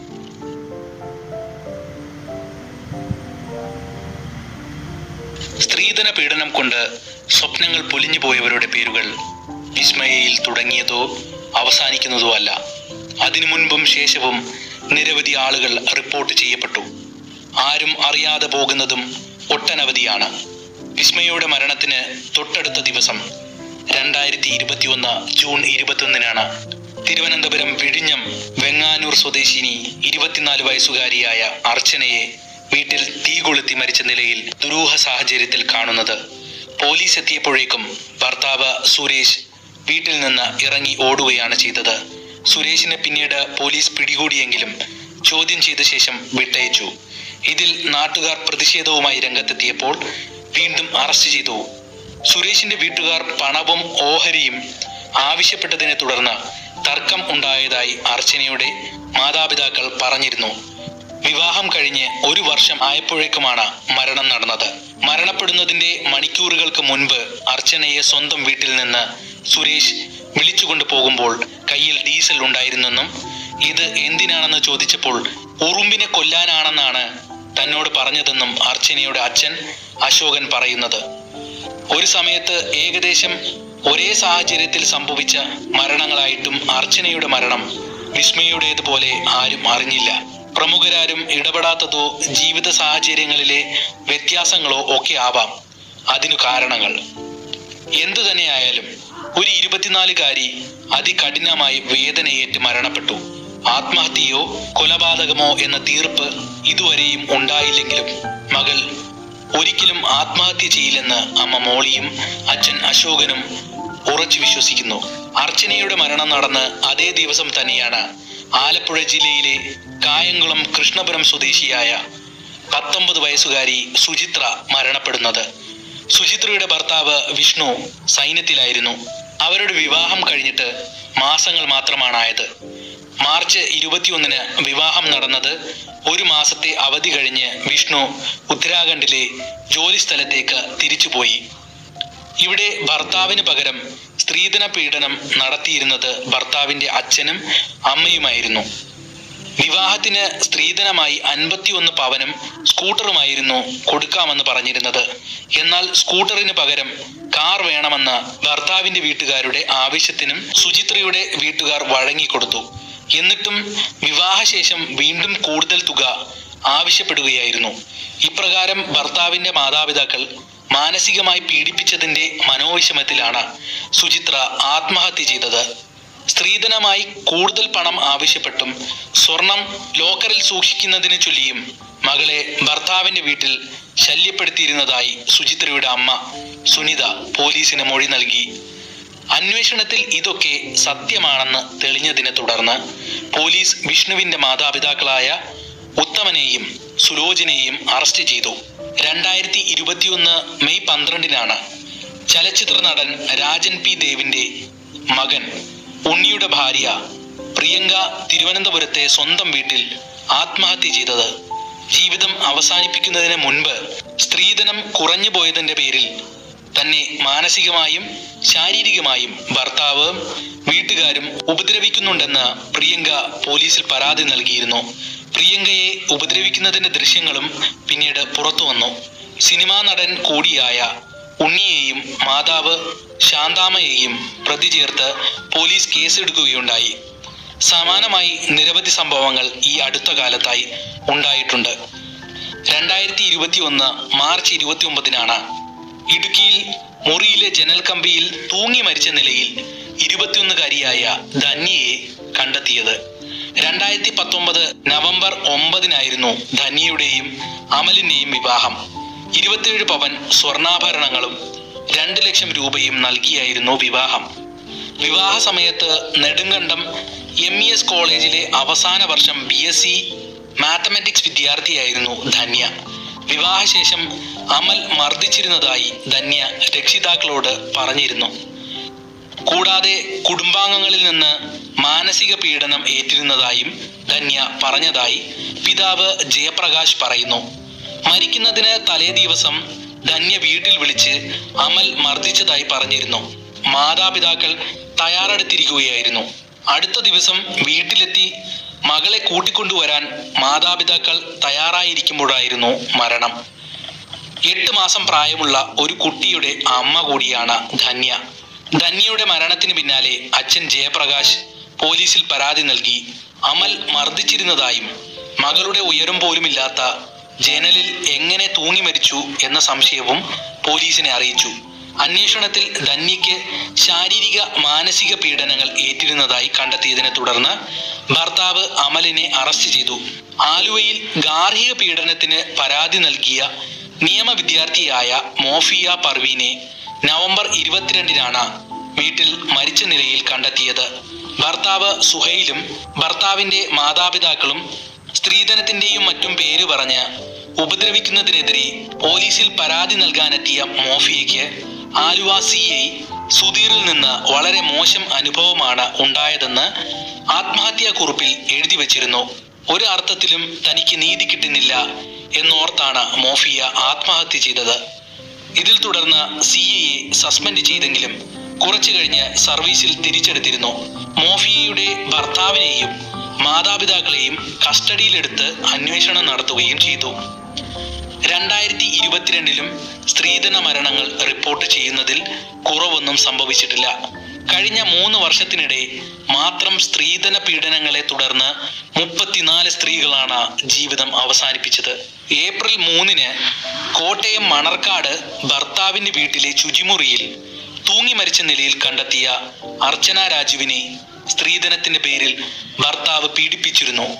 ഭർത്താവായ ബിനുവിന് വ്യാപാര സ്ഥാപനം വിപുലപ്പെടുത്താൻ ഇരുപത്തിയഞ്ച് ലക്ഷം രൂപ ആവശ്യപ്പെട്ടായിരുന്നു പീഡനമെന്ന് അർച്ചനയുടെ മാതാപിതാക്കൾ രാജീവും ലതയും പറയുന്നത്. രണ്ടായിരത്തി ഇരുപതിലായിരുന്നു ഓട്ടോ കൺസൾട്ടന്റായ ബിനുവും കിടങ്ങൂർ സ്വദേശിയായ അർച്ചനയുമായുള്ള വിവാഹം. വിവാഹം ആലോചിച്ച സമയത്ത് അർച്ചനയുടെ സഹോദരി അഞ്ജുവിന്റെ വിവാഹം കഴിഞ്ഞ് രണ്ടു വർഷമേ ആകുന്നുണ്ടായിരുന്നുള്ളൂ. ഉടനെ വിവാഹം നടത്താനുള്ള സാമ്പത്തിക സ്ഥിതിയിൽ അല്ലെന്ന് അറിയിച്ചപ്പോൾ ഒരു വർഷം വരെ കാത്തിരിക്കാൻ ബിനുവും കുടുംബവും തയ്യാറായിരുന്നു. സ്വത്തും സ്വർണവും വേണ്ടെന്ന് പറഞ്ഞാണ് അർച്ചനയെ ബിനു കല്യാണം കഴിച്ചത്. എന്നിട്ടും വളരെ കഷ്ടപ്പെട്ട് ഇരുപത് പവൻ സ്വർണം മകൾക്കായി വാങ്ങി. പിന്നീട് വിവാഹം കഴിഞ്ഞ് ആറു മാസമായപ്പോൾ വിനുവും വീട്ടുകാരും ഇരുപത്തിയഞ്ച് ലക്ഷം രൂപ ആവശ്യപ്പെട്ട് പീഡിപ്പിക്കുവാൻ തുടങ്ങി. ഓട്ടോ ഡ്രൈവറായ അർച്ചനയുടെ അച്ഛനും അത്രയും പണം പെട്ടെന്ന് നൽകാൻ കഴിയില്ലായിരുന്നു. എന്നിട്ടും ഉണ്ടായിരുന്ന സ്ഥലം വിറ്റ് പണം നൽകാൻ തീരുമാനിച്ചെങ്കിലും കോവിഡ് കാരണം അതും നടന്നില്ല. ഈ ദേഷ്യം അർച്ചനയെ ഉപദ്രവിച്ചാണ് ബിനു തീർത്തത്. എഞ്ചിനീയറിംഗ് ബിരുദധാരിയായ അർച്ചനയ്ക്ക് ഒരു മകളുമുണ്ട്. കുഞ്ഞിനെ പ്രസവിച്ച് കിടന്ന സമയത്ത് പോലും ബിനു ഭാര്യയെ ഉപദ്രവിച്ചിരുന്നു. ഭർത്താവിന്റെ വീട്ടിൽ വെച്ച് സ്വന്തം വീട്ടിലേക്ക് വിളിച്ച് സംസാരിക്കുവാൻ ഒരുപാട് നിയന്ത്രണങ്ങൾ ഉണ്ടായിരുന്ന അർച്ചനയെ വീട്ടിലെത്തിയാലും കുടുംബത്തിനോട് സംസാരിക്കാൻ സമ്മതിക്കാതെ പെട്ടെന്ന് തിരിച്ചു വിളിച്ചുകൊണ്ട് പോകുമായിരുന്നു. തങ്ങളുടെ മുന്നിൽ വെച്ചും അർച്ചനയെ ബിനു മർദ്ദിച്ചിട്ടുണ്ടെന്നും സഹോദരന്മാർ പോലീസിനോട് പറഞ്ഞിരുന്നു. അർച്ചന മരിക്കുന്നതിന് ദിവസങ്ങൾക്ക് മുമ്പ് ഇരുപതിനായിരം രൂപ കുടുംബം ബിനുവിന് കൈമാറിയതായി പറയുന്നുണ്ട്. ഇവിടെ വലിയ പ്രശ്നമാണെന്നും വന്ന് സംസാരിക്കണമെന്നും അച്ഛനോട് വിളിച്ചു പറഞ്ഞെങ്കിലും അച്ഛൻ എത്തുന്നതിന് മുന്നേ തന്നെ മകൾ മരണപ്പെട്ടിരുന്നു. സ്ത്രീധന പീഡനമടക്കമുള്ള വകുപ്പുകൾ ചേർത്ത് ബിനുവിനെ പോലീസ് അറസ്റ്റ് ചെയ്തു. എന്നാൽ എത്ര അറസ്റ്റുകൾ നടന്നിട്ടും ഇത്തരം സംഭവങ്ങൾ ആവർത്തിക്കപ്പെട്ടുകൊണ്ടേയിരിക്കുന്നു. പീഡനത്തെ തുടർന്ന് ആത്മഹത്യ ചെയ്യുന്ന പല യുവതികൾക്കും ചെറിയ മക്കളുണ്ടായിരിക്കും. എത്രമാത്രം മാനസിക സംഘർഷത്തിലൂടെ കടന്നു പോയിട്ടായിരിക്കണം സ്വന്തം കുഞ്ഞിനെ ഉപേക്ഷിച്ച് ജീവിതം അവസാനിപ്പിക്കുവാൻ അവർ തീരുമാനിച്ചിരിക്കുന്നത്.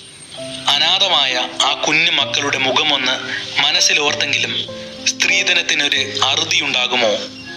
മഹാമാരികൾക്ക് മരുന്ന് കണ്ടെത്താനെങ്കിലും കഴിയും. എന്നാൽ ഈ സാമൂഹിക അനാചാരങ്ങൾക്കോ? സമൂഹത്തിൽ ഇത്രയേറെ വ്യാപിച്ചു കിടക്കുന്ന സ്ത്രീധനം കടന്നു വന്ന് ആധിപത്യം സ്ഥാപിച്ച വഴിയിലൂടെ ഒന്ന് നോക്കാം. ഇന്ന് ചില ആദിവാസി ഗോത്ര സമൂഹങ്ങൾ ഒഴിച്ച് എല്ലാവരും സ്ത്രീധനം വാങ്ങുകയും കൊടുക്കുകയും ചെയ്യുന്നുണ്ട്. പണ്ട് കാലത്ത് പുരുഷൻ മാത്രം സമ്പാദിച്ചിരുന്നത് കൊണ്ടാവാം ഒരു പെൺകുട്ടിയുടെ വിവാഹ സമയത്ത് അവളെ ഇനിയുള്ള കാലം നോക്കാനുള്ള ചിലവിലേക്ക് ഒരു തുകയോ സ്വർണമായോ ഓരോ രക്ഷിതാക്കൾ കൊടുത്തിരുന്നത്. അതുമല്ലെങ്കിൽ പണ്ട് പെൺമക്കൾക്ക് സ്വത്തിൽ അവകാശമില്ലാതിരുന്നത് കൊണ്ട് അവരെ വിവാഹം കഴിച്ചയക്കുന്ന അവസരത്തിൽ മാതാപിതാക്കൾ തങ്ങളുടെ സ്വത്തിന്റെ ഒരു ഓഹരി സ്ത്രീധനം എന്ന പേരിൽ കൊടുത്തിരുന്നതും ആവാം. പക്ഷേ സാഹചര്യങ്ങൾ മാറിയാലും നിയമം മാറിയാലും ആചാരങ്ങൾ മാത്രം അതുപോലെ തന്നെ.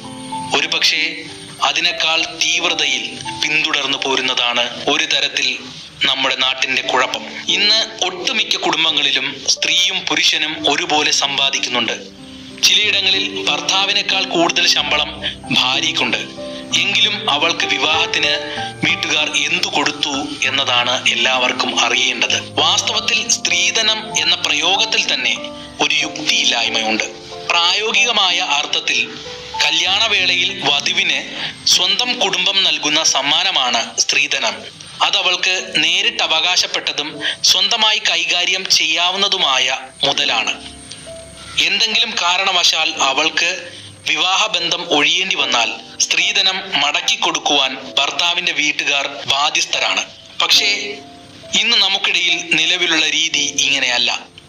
പെൺകുട്ടികളുടെ വീട്ടുകാർ വരന്റെ വിദ്യാഭ്യാസവും ജോലിയും കുടുംബമഹിമയും സാമ്പത്തികാവസ്ഥയുമൊക്കെ മാനദണ്ഡമാക്കി അയാൾക്ക് നിർബന്ധപൂർവം നൽകേണ്ടി വരുന്ന ധനമാണ് സ്ത്രീധനത്തെ കണക്കാക്കുന്നത്. വരന്റെ യോഗ്യത അനുസരിച്ച് അത് കൂടിയും കുറഞ്ഞുമിരിക്കും സ്ത്രീധനം കണക്കാക്കുന്നതിൽ വധുവിന്റെ യോഗ്യതകളെ പരിഗണിക്കാറുണ്ടെങ്കിലും താരതമ്യേനെ അതിന് പ്രാധാന്യം കുറവാണ്. നൂറ്റാണ്ടുകൾക്ക് മുമ്പ് പുരാതന റോമിലും യൂറോപ്പിലുമൊക്കെ സ്ത്രീധന സംവിധാനം നിലനിന്നിരുന്നു. ഇരുപതാം നൂറ്റാണ്ടിന്റെ തുടക്കത്തോടെ യൂറോപ്പിൽ നിന്നും ഇത് ഇല്ലാതെയായി. എന്നാൽ ഇന്ത്യ പാകിസ്ഥാൻ ബംഗ്ലാദേശ് ഇറാൻ വടക്കേ ആഫ്രിക്ക തുടങ്ങിയ രാജ്യങ്ങളിൽ ഇന്നും പൂർവാധികം ശക്തിയോടെ ഈ സമ്പ്രദായം നിലനിൽക്കുന്നു. അതിൽ തന്നെ ദുഃഖകരമായ മറ്റൊരു വസ്തുതയാണ് സ്ത്രീധന മരണത്തിന്റെ കണക്ക് വിവര പട്ടികയിൽ. ഇന്ത്യ മറ്റു രാജ്യങ്ങളെയെല്ലാം പിന്തള്ളി ഒന്നാം സ്ഥാനത്ത് നിൽക്കുന്നു എന്നതാണ്. കുടുംബം മതം തുടങ്ങിയ വ്യവസ്ഥാപിതമായ സംവിധാനങ്ങളാണ് ഇന്ത്യൻ സമൂഹത്തിന്റെ അടിസ്ഥാനമായി പൊതുവിൽ കണക്കാക്കപ്പെടുന്നത്. അങ്ങനെ നോക്കിയാൽ പോലും മതഗ്രന്ഥങ്ങളിലൊന്നും സ്ത്രീധനം വിവാഹത്തിന് ഒഴിച്ചുകൂടാൻ പറ്റാത്തതാണെന്ന് പറഞ്ഞിട്ടില്ല. എന്നിട്ടും മത ദൈവവിശ്വാസികൾ എന്ന് സ്വയം കരുതുന്നവരിൽ ഒരു നല്ല ശതമാനം ആൾക്കാരും സ്ത്രീധനത്തെ പിന്തുണയ്ക്കുന്നവരാണ്. പതിനൊന്നാം നൂറ്റാണ്ടിൽ ഇന്ത്യ മുഴുവൻ സഞ്ചരിച്ച ഇന്ത്യയെക്കുറിച്ച് പുസ്തകങ്ങൾ എഴുതിയ പേർഷ്യൻ പണ്ഡിതൻ അൽബുറൂനിയുടെ പുസ്തകത്തിൽ ഒന്നും തന്നെ ഇന്നത്തെ സ്ത്രീധന സംവിധാനം അന്ന് ഉണ്ടായിരുന്നതായിട്ടുള്ള ഒരു പരാമർശങ്ങളും കാണാനാകില്ല. എന്നാൽ വിവാഹ സമയത്ത് പുരുഷൻ സ്ത്രീക്ക് സമ്മാനം കൊടുക്കുന്ന പുരാതന ഭാരതീയ രീതികളെ കുറിച്ച് അൽബുറൂണി പുസ്തകത്തിൽ പറയുന്നുണ്ട്. ആയിരത്തി എണ്ണൂറ്റി ഇരുപത്തിരണ്ടിൽ തിരുവിതാംകൂറിലെ റാണി ഗൗരി പാർവതി ഭായി ഒപ്പുവെച്ച ഒരു ഉത്തരവിൽ ഇവിടുത്തെ നമ്പൂതിരി പോറ്റി സമുദായങ്ങളുടെ സ്ത്രീധനം ഏർപ്പാടിനുമേൽ നിയന്ത്രണം ഏർപ്പെടുത്താൻ സർക്കാർ ശ്രമിച്ചതായി കാണാവുന്നതാണ്. ക്രമാതീതമായി വർദ്ധിച്ച സ്ത്രീധനത്തുക മൂലം ബ്രാഹ്മണ സ്വത്തുക്കൾ നശിക്കുന്നെന്നും അവിവാഹിതകളായി നിൽക്കുന്ന സ്ത്രീകൾക്ക് പലവിധ ദോഷങ്ങളും ഉണ്ടാകുന്നുവെന്നും ഈ ഉത്തരവിൽ പറയുന്നുണ്ട്. ഒരു സ്ത്രീധന തുക നിശ്ചയിച്ചിട്ട് പതിനാല് വയസ്സിലധികം പ്രായമായ പെൺകുട്ടികളുടെ വിവാഹം ഉടൻ തന്നെ നടത്തിക്കൊള്ളണമെന്നും ഉത്തരവിൽ നിർദ്ദേശിച്ചിട്ടുണ്ട്. ഈ പെൺകുട്ടികളിൽ കന്യകമാർ മാത്രമാണ് ഉണ്ടായിരുന്നത്. വിധവകൾ ഉൾപ്പെട്ടിരുന്നില്ല. ആയിരത്തി തൊള്ളായിരത്തി ഇരുപത്തി ഏഴിൽ കോട്ടയത്ത് നിന്ന് വി സി ജോണിന്റെ പ്രസാദനത്തിൽ ഇറങ്ങിയ വനിതാ കുസുമം എന്ന മാസികയിൽ സ്ത്രീധനത്തെക്കുറിച്ച് നമ്മുടെ സ്ത്രീകൾ എന്ന പേരിൽ എഴുതിയിരിക്കുന്ന ഒരു ലേഖനത്തിൽ പരാമർശിക്കുന്നുണ്ട്. അത് ഇപ്രകാരമാണ്. ഒരാൾ കുറെ പണം കൊടുത്ത് ഒരു കാളയെയോ കുതിരയെയോ വിലയ്ക്ക് വാങ്ങുന്നത് പോലെ ഒരു പിതാവ് തന്റെ പുത്രിക്ക് ഒരു വരനെ അവന്റെ യോഗ്യതയ്ക്കനുസരണം കൂടുതലായോ കുറവായോ ഉള്ള ഒരു വില അവന്റെ പിതാവിന് കൊടുത്ത് വാങ്ങിക്കുന്നു. ആ വിലയാണ് നമ്മുടെ സ്ത്രീധനം. ആ ധനം ഭർത്താവിന്റെ പിതാവ് അയാളുടെ സ്വന്തം പോലെ ഉപയോഗിക്കുന്നു. സ്ത്രീ അത് കണി കാണുക പോലും ചെയ്യുന്നില്ല. ഈ ഏർപ്പാടിനെ എത്ര പഴിച്ചാലും മതിയാവുകയില്ല. ഇങ്ങനെ പുത്രന്മാരെ വിറ്റ് ചിലവഴിക്കുന്ന മാതാപിതാക്കന്മാരുടെയും ഒരു സ്ത്രീയെ വിവാഹം കഴിക്കുന്നതിന് അവരുടെ പിതാവിനോട് സ്ത്രീധനമെന്ന് പറഞ്ഞ് കൈക്കൂലി വാങ്ങുന്ന ഭർത്താക്കന്മാരുടെയും പേരുകൾ പത്രങ്ങളിൽ പ്രസിദ്ധപ്പെടുത്തി അവരുമായി സാമൂഹിക നിസ്സഹകരണം അനുഷ്ഠിക്കുന്നത് ഇതിനൊരു പ്രതിവിധിയായിരിക്കുമെന്ന് തോന്നുന്നു. ഈ നിരീക്ഷണങ്ങൾ ഇന്നും വളരെ പ്രസക്തമാണ്. ആയിരത്തി തൊള്ളായിരത്തി അൻപത്തി ആറിൽ ഹിന്ദു പിന്തുടർച്ചാവകാശ നിയമത്തിൽ വന്ന ഭേദഗതിക്ക് ശേഷമാണ് ഹിന്ദു സ്ത്രീകൾക്ക് പാരമ്പര്യ സ്വത്തിൽ അവകാശം കിട്ടിയത്.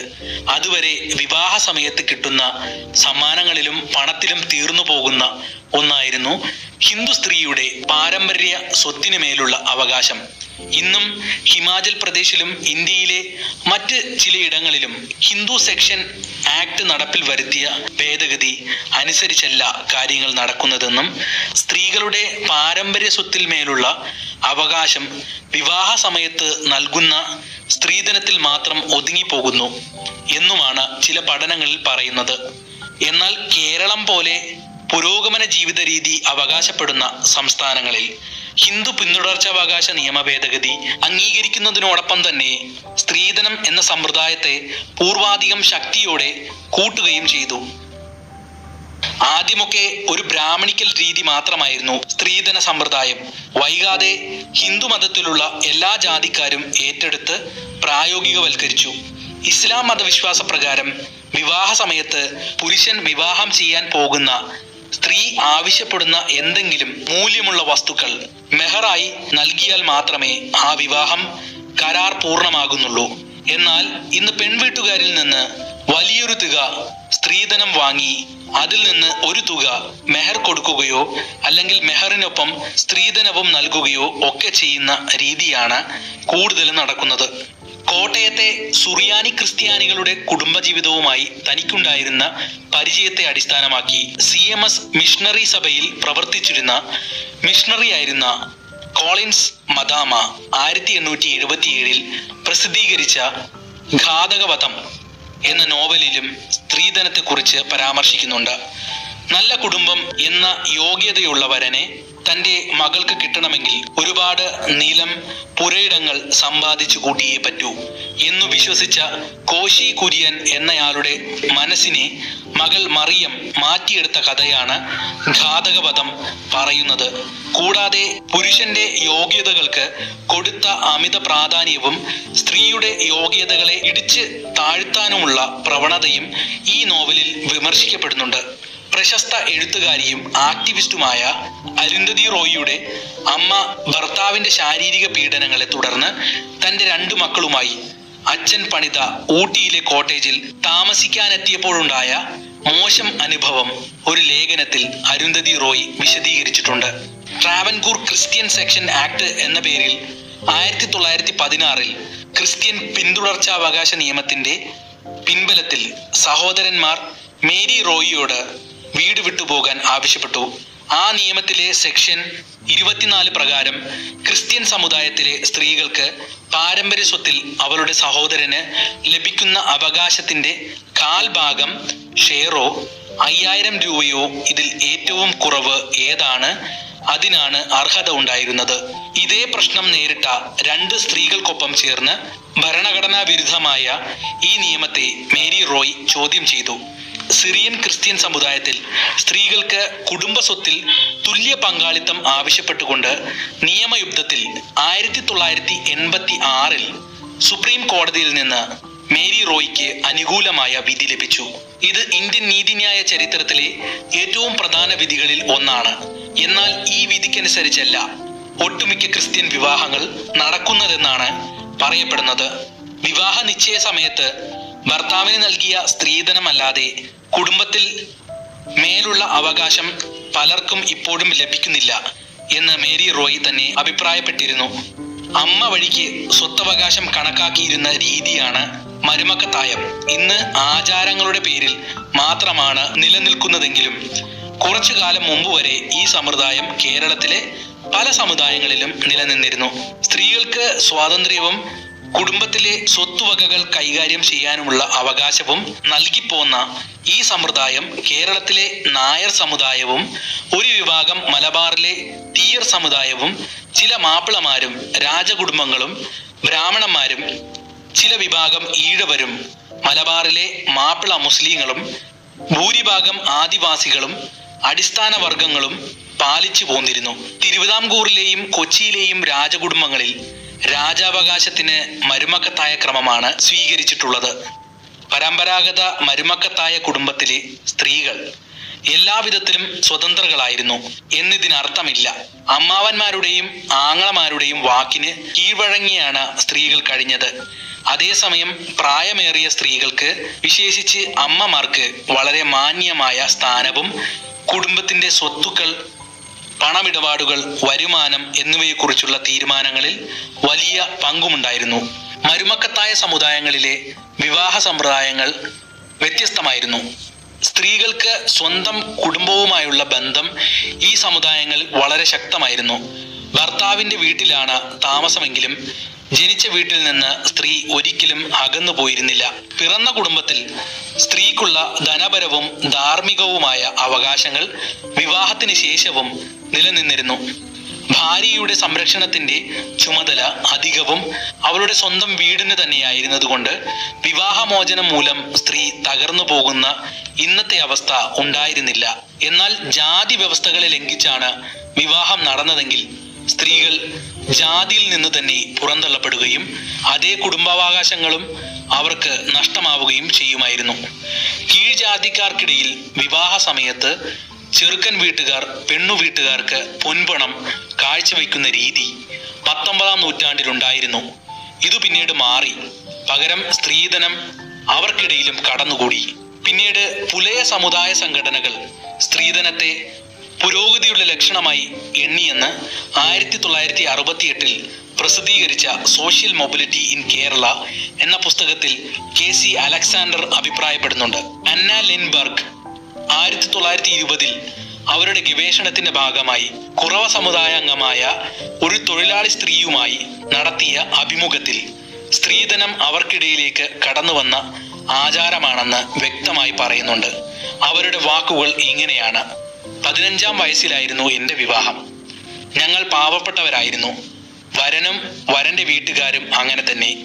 എന്റെ വീട്ടിൽ വെച്ചായിരുന്നു കല്യാണം.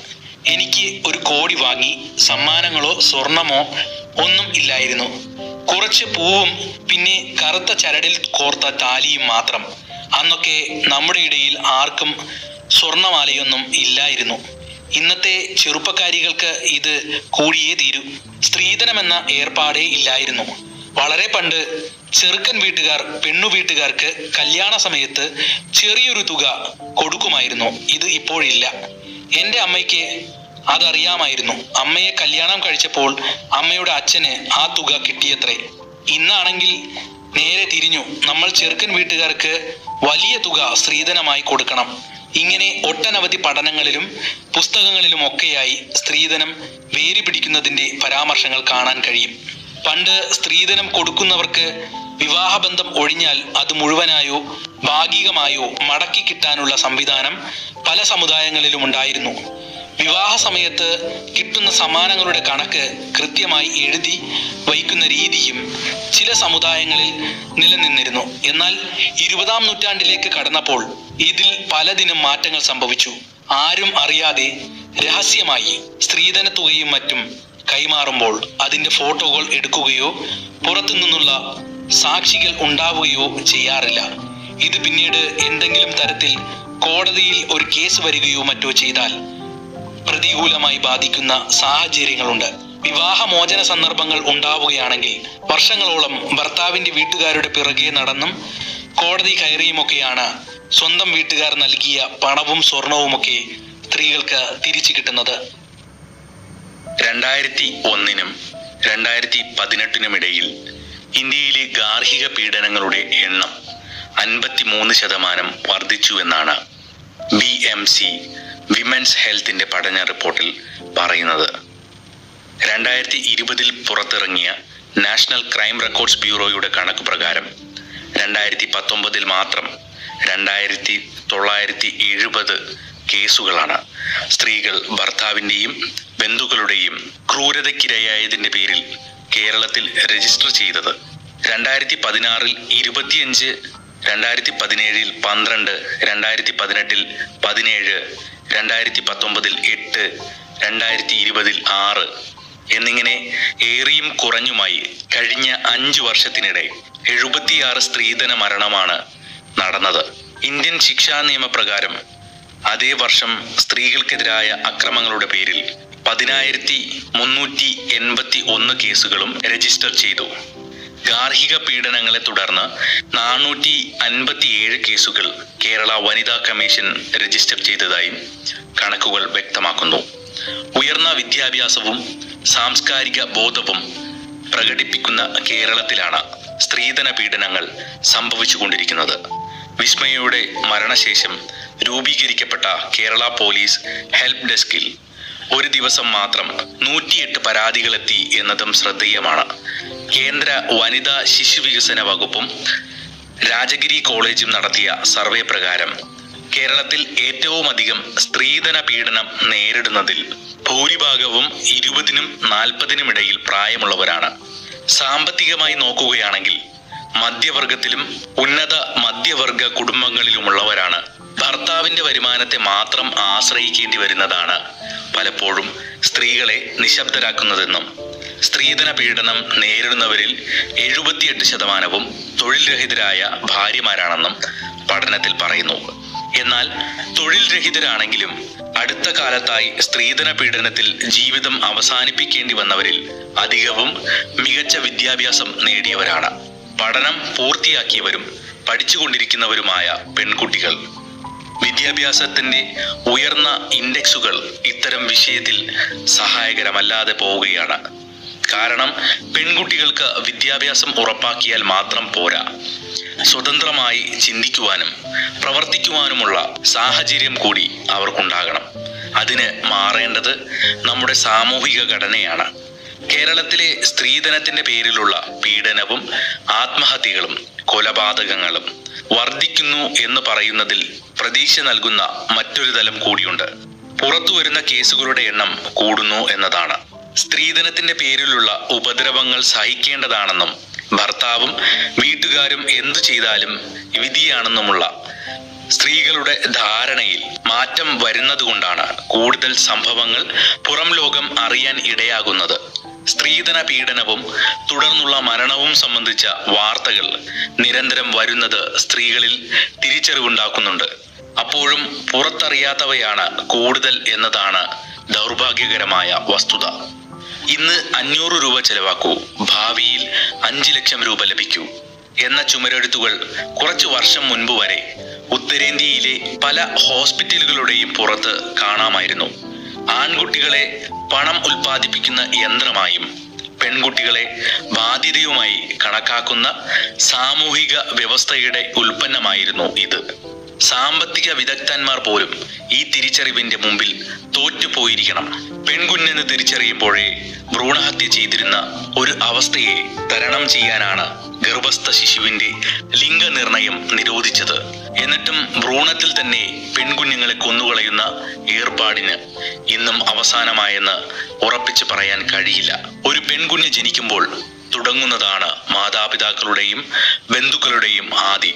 നാളെ മറ്റൊരു വീട്ടിലേക്ക് പോകേണ്ടവളാണ് നീ എന്ന് പറഞ്ഞാണ് അവളെ വളർത്തുന്നത്. പഠനം ജോലി എന്നിവയെക്കാളെല്ലാം പ്രധാനം വിവാഹമാണെന്ന പൊതുബോധത്തിൽ നിന്ന് മാറാൻ കഴിയാതെ കിടപ്പാടം വിറ്റും കടക്കിണിയിലായും രക്ഷിതാക്കൾ പെൺമക്കളെ പൊന്നും പണവും ഭൂമിയും നൽകി വിവാഹം കഴിപ്പിക്കുന്നു. വിവാഹം കഴിപ്പിച്ചു വിട്ട പെൺകുട്ടി ഭർത്താവിന്റെ വീട്ടിൽ പീഡനമേൽക്കുന്നതായി പരാതി പറഞ്ഞാലും സ്വന്തം വീട്ടിൽ ഒരു ഇടമുണ്ടെന്നും തിരിച്ചു വരാമെന്നും പറയാൻ സമൂഹത്തെ ഭയക്കുന്നത് കൊണ്ടുകൂടിയാണ്. സ്വന്തമായൊരിടം അവൾക്കുണ്ടെന്നും സ്വന്തം കാലിൽ നിൽക്കാൻ കഴിയുമെന്നും ഒരു ആത്മവിശ്വാസം നൽകാൻ രക്ഷിതാക്കൾക്ക് കഴിയണം. എന്നാൽ മാത്രമേ ഒരു തുണ്ട് കയറിൽ അവസാനിപ്പിക്കേണ്ടതല്ല ജീവിതമെന്നും ഇനിയുമേറെ മുന്നോട്ടു പോകാനുണ്ടെന്നും പെൺകുട്ടികൾക്കും തോന്നുകയുള്ളൂ.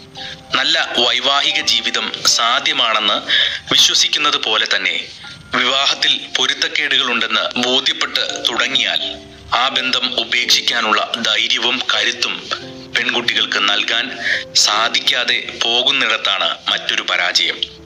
ഇതൊക്കെ വിരൽ ചൂണ്ടുന്നത് കുടുംബം എന്ന വ്യവസ്ഥിതിയിലേക്കാണ്.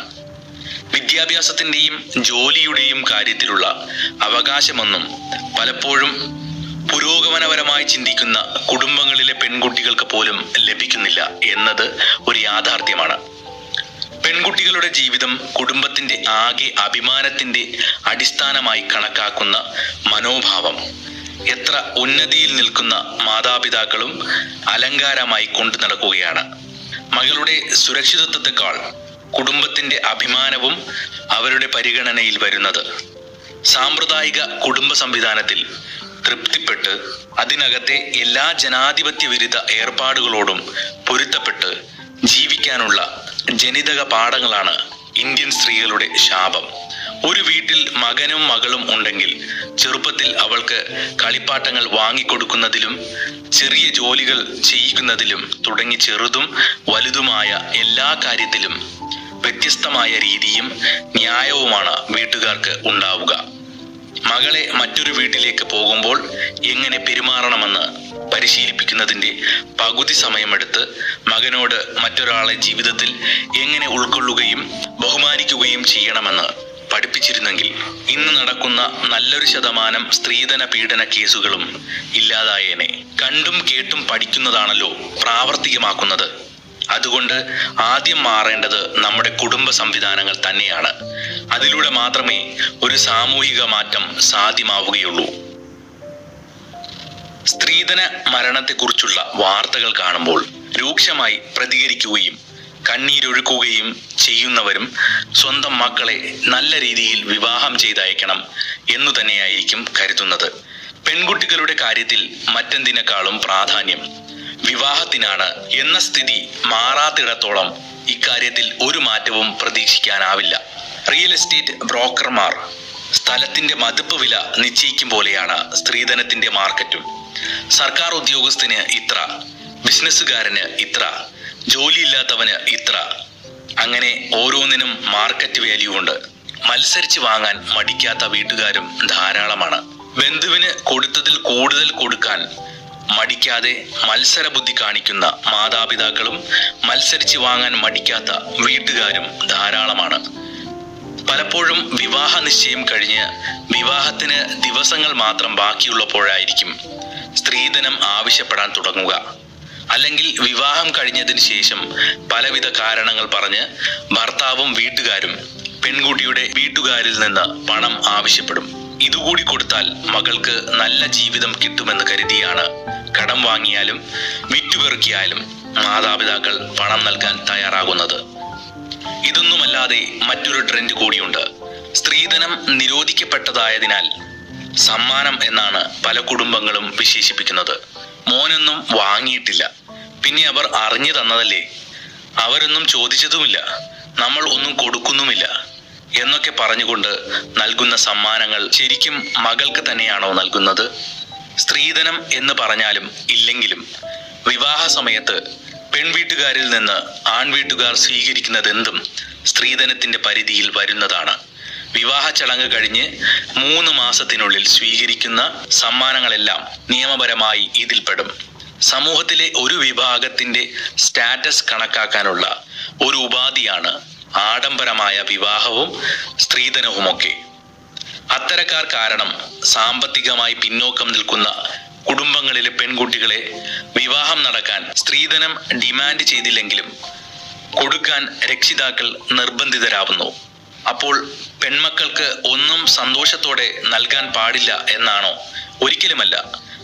ആർക്ക് എപ്പോൾ നൽകുന്നു എന്നതാണ് പ്രശ്നവൽക്കരിക്കപ്പെടേണ്ടത്.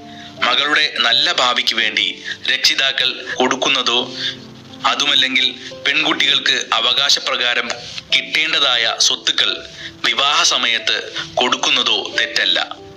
അങ്ങനെ ചെയ്യുന്നുവെങ്കിൽ അതെങ്ങനെ കൊടുക്കണം എന്ന് സ്ത്രീധന നിരോധന നിയമത്തിൽ വ്യക്തമായി പറയുന്നുണ്ട്.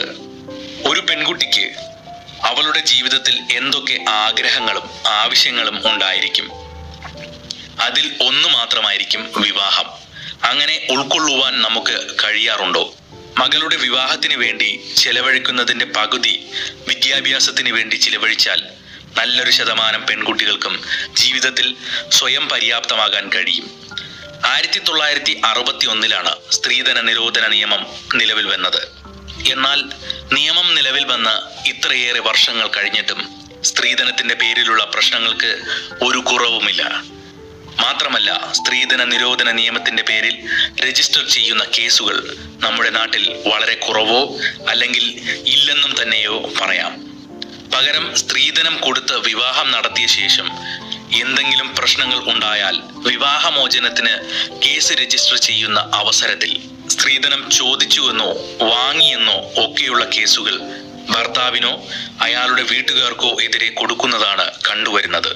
എന്തുകൊണ്ടാണ് വിവാഹത്തിന് മുൻപ് തന്നെ ഇത്തരത്തിൽ സ്ത്രീധനം ചോദിക്കുന്നവർക്കെതിരെ കേസ് കൊടുക്കാത്തത് എന്നത് ചിന്തിക്കേണ്ട ഒന്നാണ്.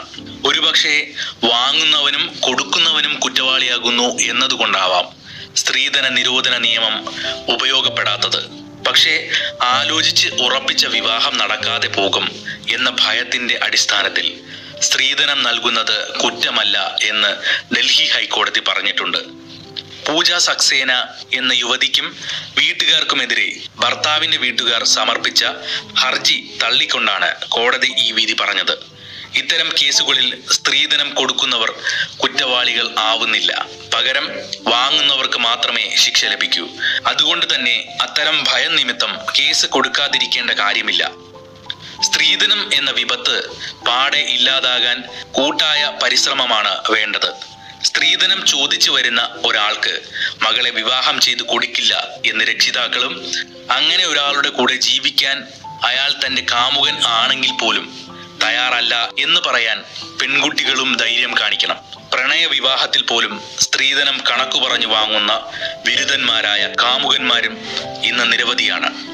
സ്നേഹിച്ച പുരുഷനോടൊപ്പം ജീവിക്കാൻ വേണ്ടി അയാളും വീട്ടുകാരും ചോദിക്കുന്നതെന്തും സ്വന്തം മാതാപിതാക്കളെ കൊണ്ട് കൊടുപ്പിക്കാൻ സമ്മതിക്കുന്ന പെൺകുട്ടികളുമുണ്ട്. എന്നാൽ ആത്യന്തികമായി പുരുഷ കേന്ദ്രീകൃതമായ ഒരു സമൂഹത്തിൽ മാറേണ്ടത് പെൺകുട്ടികളും വീട്ടുകാരും മാത്രമല്ല ആൺകുട്ടികളും കുടുംബങ്ങളും കൂടിയാണ്. അമ്മയോ അച്ഛനോ ആര് പറഞ്ഞാലും സ്ത്രീധനമെന്നോ സമ്മാനമെന്നോ എന്ത് പേരിട്ട് പറഞ്ഞാലും ഞാൻ അത് വാങ്ങില്ലെന്ന് ഓരോ ആൺകുട്ടിയും തീരുമാനിച്ചാൽ ഒരു പരിധിവരെ പ്രശ്നങ്ങൾ തീരും. എന്നാൽ സ്ത്രീധനം വാങ്ങാതിരുന്നത് കൊണ്ട് മാത്രം കാര്യമില്ല. വിവാഹത്തിന് ശേഷം അതിന്റെ പേരു പറഞ്ഞുള്ള പീഡനവും ഇല്ലാതാകണം. അതിന് ആൺകുട്ടികളുള്ള കുടുംബത്തിന്റെ മനോഭാവം കൂടി മാറണം. ഇൻസ്റ്റാൾമെന്റ് വ്യവസ്ഥയിൽ ഇ എം ഐ പോലെ വർഷാവർഷം സ്ത്രീധനം വാങ്ങാൻ മടിക്കാത്തവരും കൊടുക്കാൻ തയ്യാറുള്ളവരും ഉള്ള നാട്. പരാതി വരുന്നതും ആത്മഹത്യയിൽ അഭയം പ്രാപിക്കുന്നതും മാത്രം പുറത്തറിയുന്നു. എത്ര വീടുകളിൽ ഇത് ഇന്നും തുടരുന്നുണ്ടാവും? എത്ര വിസ്മയമാർ ക്രൂരത സഹിച്ച് ജീവിക്കുന്നുണ്ടാവും? സ്ത്രീകൾക്ക് തുണയായി നിയമം ഉണ്ടായിട്ട് കാര്യമില്ല. പറയേണ്ടത് പറയേണ്ട സമയത്ത് പറയാനും നിർത്തേണ്ടത് നിർത്തേണ്ട സമയത്ത് നിർത്താനും കഴിയണം. സ്ത്രീധന പീഡനത്തെ തുടർന്ന് പെൺകുട്ടികൾ ആത്മഹത്യ ചെയ്യുമ്പോൾ സാമൂഹിക മാധ്യമങ്ങളിലും മറ്റ് നിരവധി ചർച്ചകളാണ് ഉണ്ടാവുക. എന്തിനാണ് ജീവിതം അവസാനിപ്പിക്കാൻ തീരുമാനിക്കുന്നത്? അവർക്ക് സ്വന്തം വീട്ടിലേക്ക് തിരിച്ചു വന്നുകൂടെ? എന്നുപോലും ചോദിക്കാറുണ്ട്. തിരിച്ചു വന്നിരുന്നുവെങ്കിൽ ഞങ്ങൾ നോക്കില്ലായിരുന്നോ? എന്ന് ചോദിച്ച് നിലവിളിക്കുന്ന വീട്ടുകാരുടെ കണ്ണുനീരും നമ്മൾ കണ്ടിട്ടുണ്ട്. എന്നാൽ അങ്ങനെ ഒരു ഓപ്ഷൻ ഉണ്ടായിരുന്നെങ്കിൽ പലപ്പോഴും വേദനയും ആശകളും പേറി പ്രസവിച്ച കുഞ്ഞുമക്കളെയും വരെ ഉപേക്ഷിച്ച് അവർ ജീവിതം അവസാനിപ്പിക്കുവാൻ തീരുമാനിക്കുമായിരുന്നു എന്നുകൂടി നമ്മൾ ആലോചിക്കേണ്ടതുണ്ട്. അല്ലെങ്കിൽ ഇത്രയും സ്നേഹമുള്ള വീട്ടുകാരുള്ളപ്പോൾ എന്തുകൊണ്ടായിരിക്കും ഈ പെൺകുട്ടികൾ മരണത്തിന്റെ വഴികളിലേക്ക് പോയത്? അതിന് പ്രഥമ ഉത്തരവാദികൾ നമ്മൾ ഓരോരുത്തരും ഉൾപ്പെടുന്ന ഈ സമൂഹം തന്നെയാണ്. പീഡനങ്ങൾ സഹിക്കുന്നവർ അത് പുറത്തു പറയാതിരിക്കുന്നതിന് നിരവധി കാരണങ്ങൾ ഉണ്ടായിരിക്കും. പുറത്തറിഞ്ഞ് ഈ ബന്ധം അവസാനിപ്പിച്ചാൽ പിന്നെ ജീവിതം എങ്ങനെ മുന്നോട്ട് പോകും? തനിക്കും കുഞ്ഞിനും ആരാണുണ്ടാവുക? തുടങ്ങിയ ചിന്തകൾക്ക് കാരണം സാമ്പത്തിക സുരക്ഷയും പിന്തുണയും ഇല്ലാത്തതാണ്. നാളെ എന്ത് സംഭവിക്കും എന്ന ഭയത്തോടൊപ്പം തന്നെ ആരോടെങ്കിലും പറഞ്ഞാൽ ഉപദ്രവം കൂടുമോ എന്ന ആശങ്കയും അവർക്കുണ്ടാവുന്നത് സ്വാഭാവികമാണ്. ഒരു പരിധിവരെ ഞാനും ഈ അവസ്ഥയ്ക്ക് കാരണമാണ് എന്ന ചിന്തയും അവർക്കുണ്ടാവും. മറ്റുള്ളവരുടെ കാര്യത്തിൽ പറയുന്ന വാദങ്ങളൊന്നും സ്വന്തം വീട്ടിലാകുമ്പോൾ സ്വന്തം മകളുടെ കാര്യത്തിലാകുമ്പോൾ അംഗീകരിക്കാൻ ആരും തയ്യാറാകണമെന്നില്ല. വിവാഹബന്ധം വേർപെടുത്തുകയോ ഭർത്താവിന്റെ വീട്ടിൽ നിന്ന് മാറി നിൽക്കുകയോ ചെയ്യുന്ന സ്ത്രീകൾക്ക് പല പേരുകളും സമൂഹം ചാർത്തി കൊടുക്കും അതൊന്നും വകവയ്ക്കാതെ മുന്നോട്ടു പോകാനുള്ള ധൈര്യം സ്വന്തമായി വരുമാനവും ഒറ്റയ്ക്ക് ജീവിക്കാനുള്ള സാഹചര്യവും ഉള്ള സ്ത്രീകൾക്ക് മാത്രമേ അസഹനീയമായ വിവാഹത്തിൽ നിന്ന് പുറത്തുകടന്ന് ജീവിക്കാനാവൂ. അല്ലാതെ സിനിമകളിലും മറ്റും കാണുന്ന പോലെ ഒരു നിമിഷം കൊണ്ട് എല്ലാം വലിച്ചെറിഞ്ഞ് ഒന്നും ആലോചിക്കാതെ ഇറങ്ങിപ്പോകാൻ ആർക്കും കഴിയണമെന്നില്ല. നിർഭാഗ്യവശാൽ നമ്മുടെ നാട്ടിൽ അങ്ങനെ ഒരു തിരിച്ചുവരവിനോ ഇറങ്ങിപ്പോക്കിനോ സാഹചര്യമില്ലാത്ത പെൺകുട്ടികളുടെ എണ്ണമാണ് കൂടുതൽ. പലപ്പോഴും വൈവാഹിക ജീവിതത്തിലെ പ്രശ്നങ്ങൾ സ്വന്തം വീട്ടുകാരോട് തുറന്നു പറയുമ്പോൾ സമൂഹത്തിൽ നമുക്കിനി എന്ത് വിലയുണ്ടാകും? അയൽവാസികളും ബന്ധുക്കളും എന്തു പറയും? തുടങ്ങിയ ചിന്തകളും അല്പമൊന്ന് അഡ്ജസ്റ്റ് ചെയ്താൽ തനിക്ക് നല്ലൊരു കുടുംബജീവിതം ഉണ്ടാകുമല്ലോ എന്ന പറച്ചിലുമാണ് അവർ മക്കൾക്ക് തിരിച്ചു നൽകുന്നത്. മാത്രമല്ല വളർത്തി വലുതാക്കി കല്യാണം നടത്തുന്നത് വരെയുള്ള കഷ്ടപ്പാടുകളും സാമ്പത്തിക പ്രയാസങ്ങളുമൊക്കെ ചെറുപ്പം മുതലേ കേട്ടുവരുന്ന പെൺകുട്ടികളെ സംബന്ധിച്ച് വിവാഹശേഷം ഇനിയും തങ്ങൾ കാരണം ഒരു പ്രയാസം വീട്ടുകാർക്ക് ഉണ്ടാകരുതല്ലോ എന്ന് കരുതി എല്ലാം സഹിച്ച് നിശബ്ദരാകും. ഇതിൽ ആരുടെ ഭാഗത്താണ് തെറ്റ്? ആരെയാണ് കുറ്റം പറയാൻ കഴിയുന്നത്? മാതാപിതാക്കളെയോ പെൺമക്കളെയോ? അതോ ഇവരെയൊക്കെ ഇങ്ങനെയാക്കി തീർക്കുന്ന സാമൂഹിക സാഹചര്യങ്ങളെയോ? സ്ത്രീധനം ഒരു വ്യക്തിപരമായ പ്രശ്നം അല്ല എന്നിരിക്കെ അതിന്റെ പഴി ചാരേണ്ടതും വ്യക്തികളുടെ മാത്രം മുകളിലല്ല. എന്നാൽ വ്യക്തികൾ ചേർന്നാണ് സമൂഹം ഉണ്ടാകുന്നത്. എന്നിരിക്കെ അങ്ങനെ ആർക്കും പൂർണമായും കൈകഴുകാനും കഴിയില്ല. വ്യക്തിത്വവും സ്വപ്നങ്ങളും അഭിമാനവുമൊക്കെയുള്ള മനുഷ്യ സ്വത്വമായി തന്നെ ഒരു പെൺകുട്ടിയെ കാണാനും അംഗീകരിക്കാനും കഴിയേണ്ടതുണ്ട്.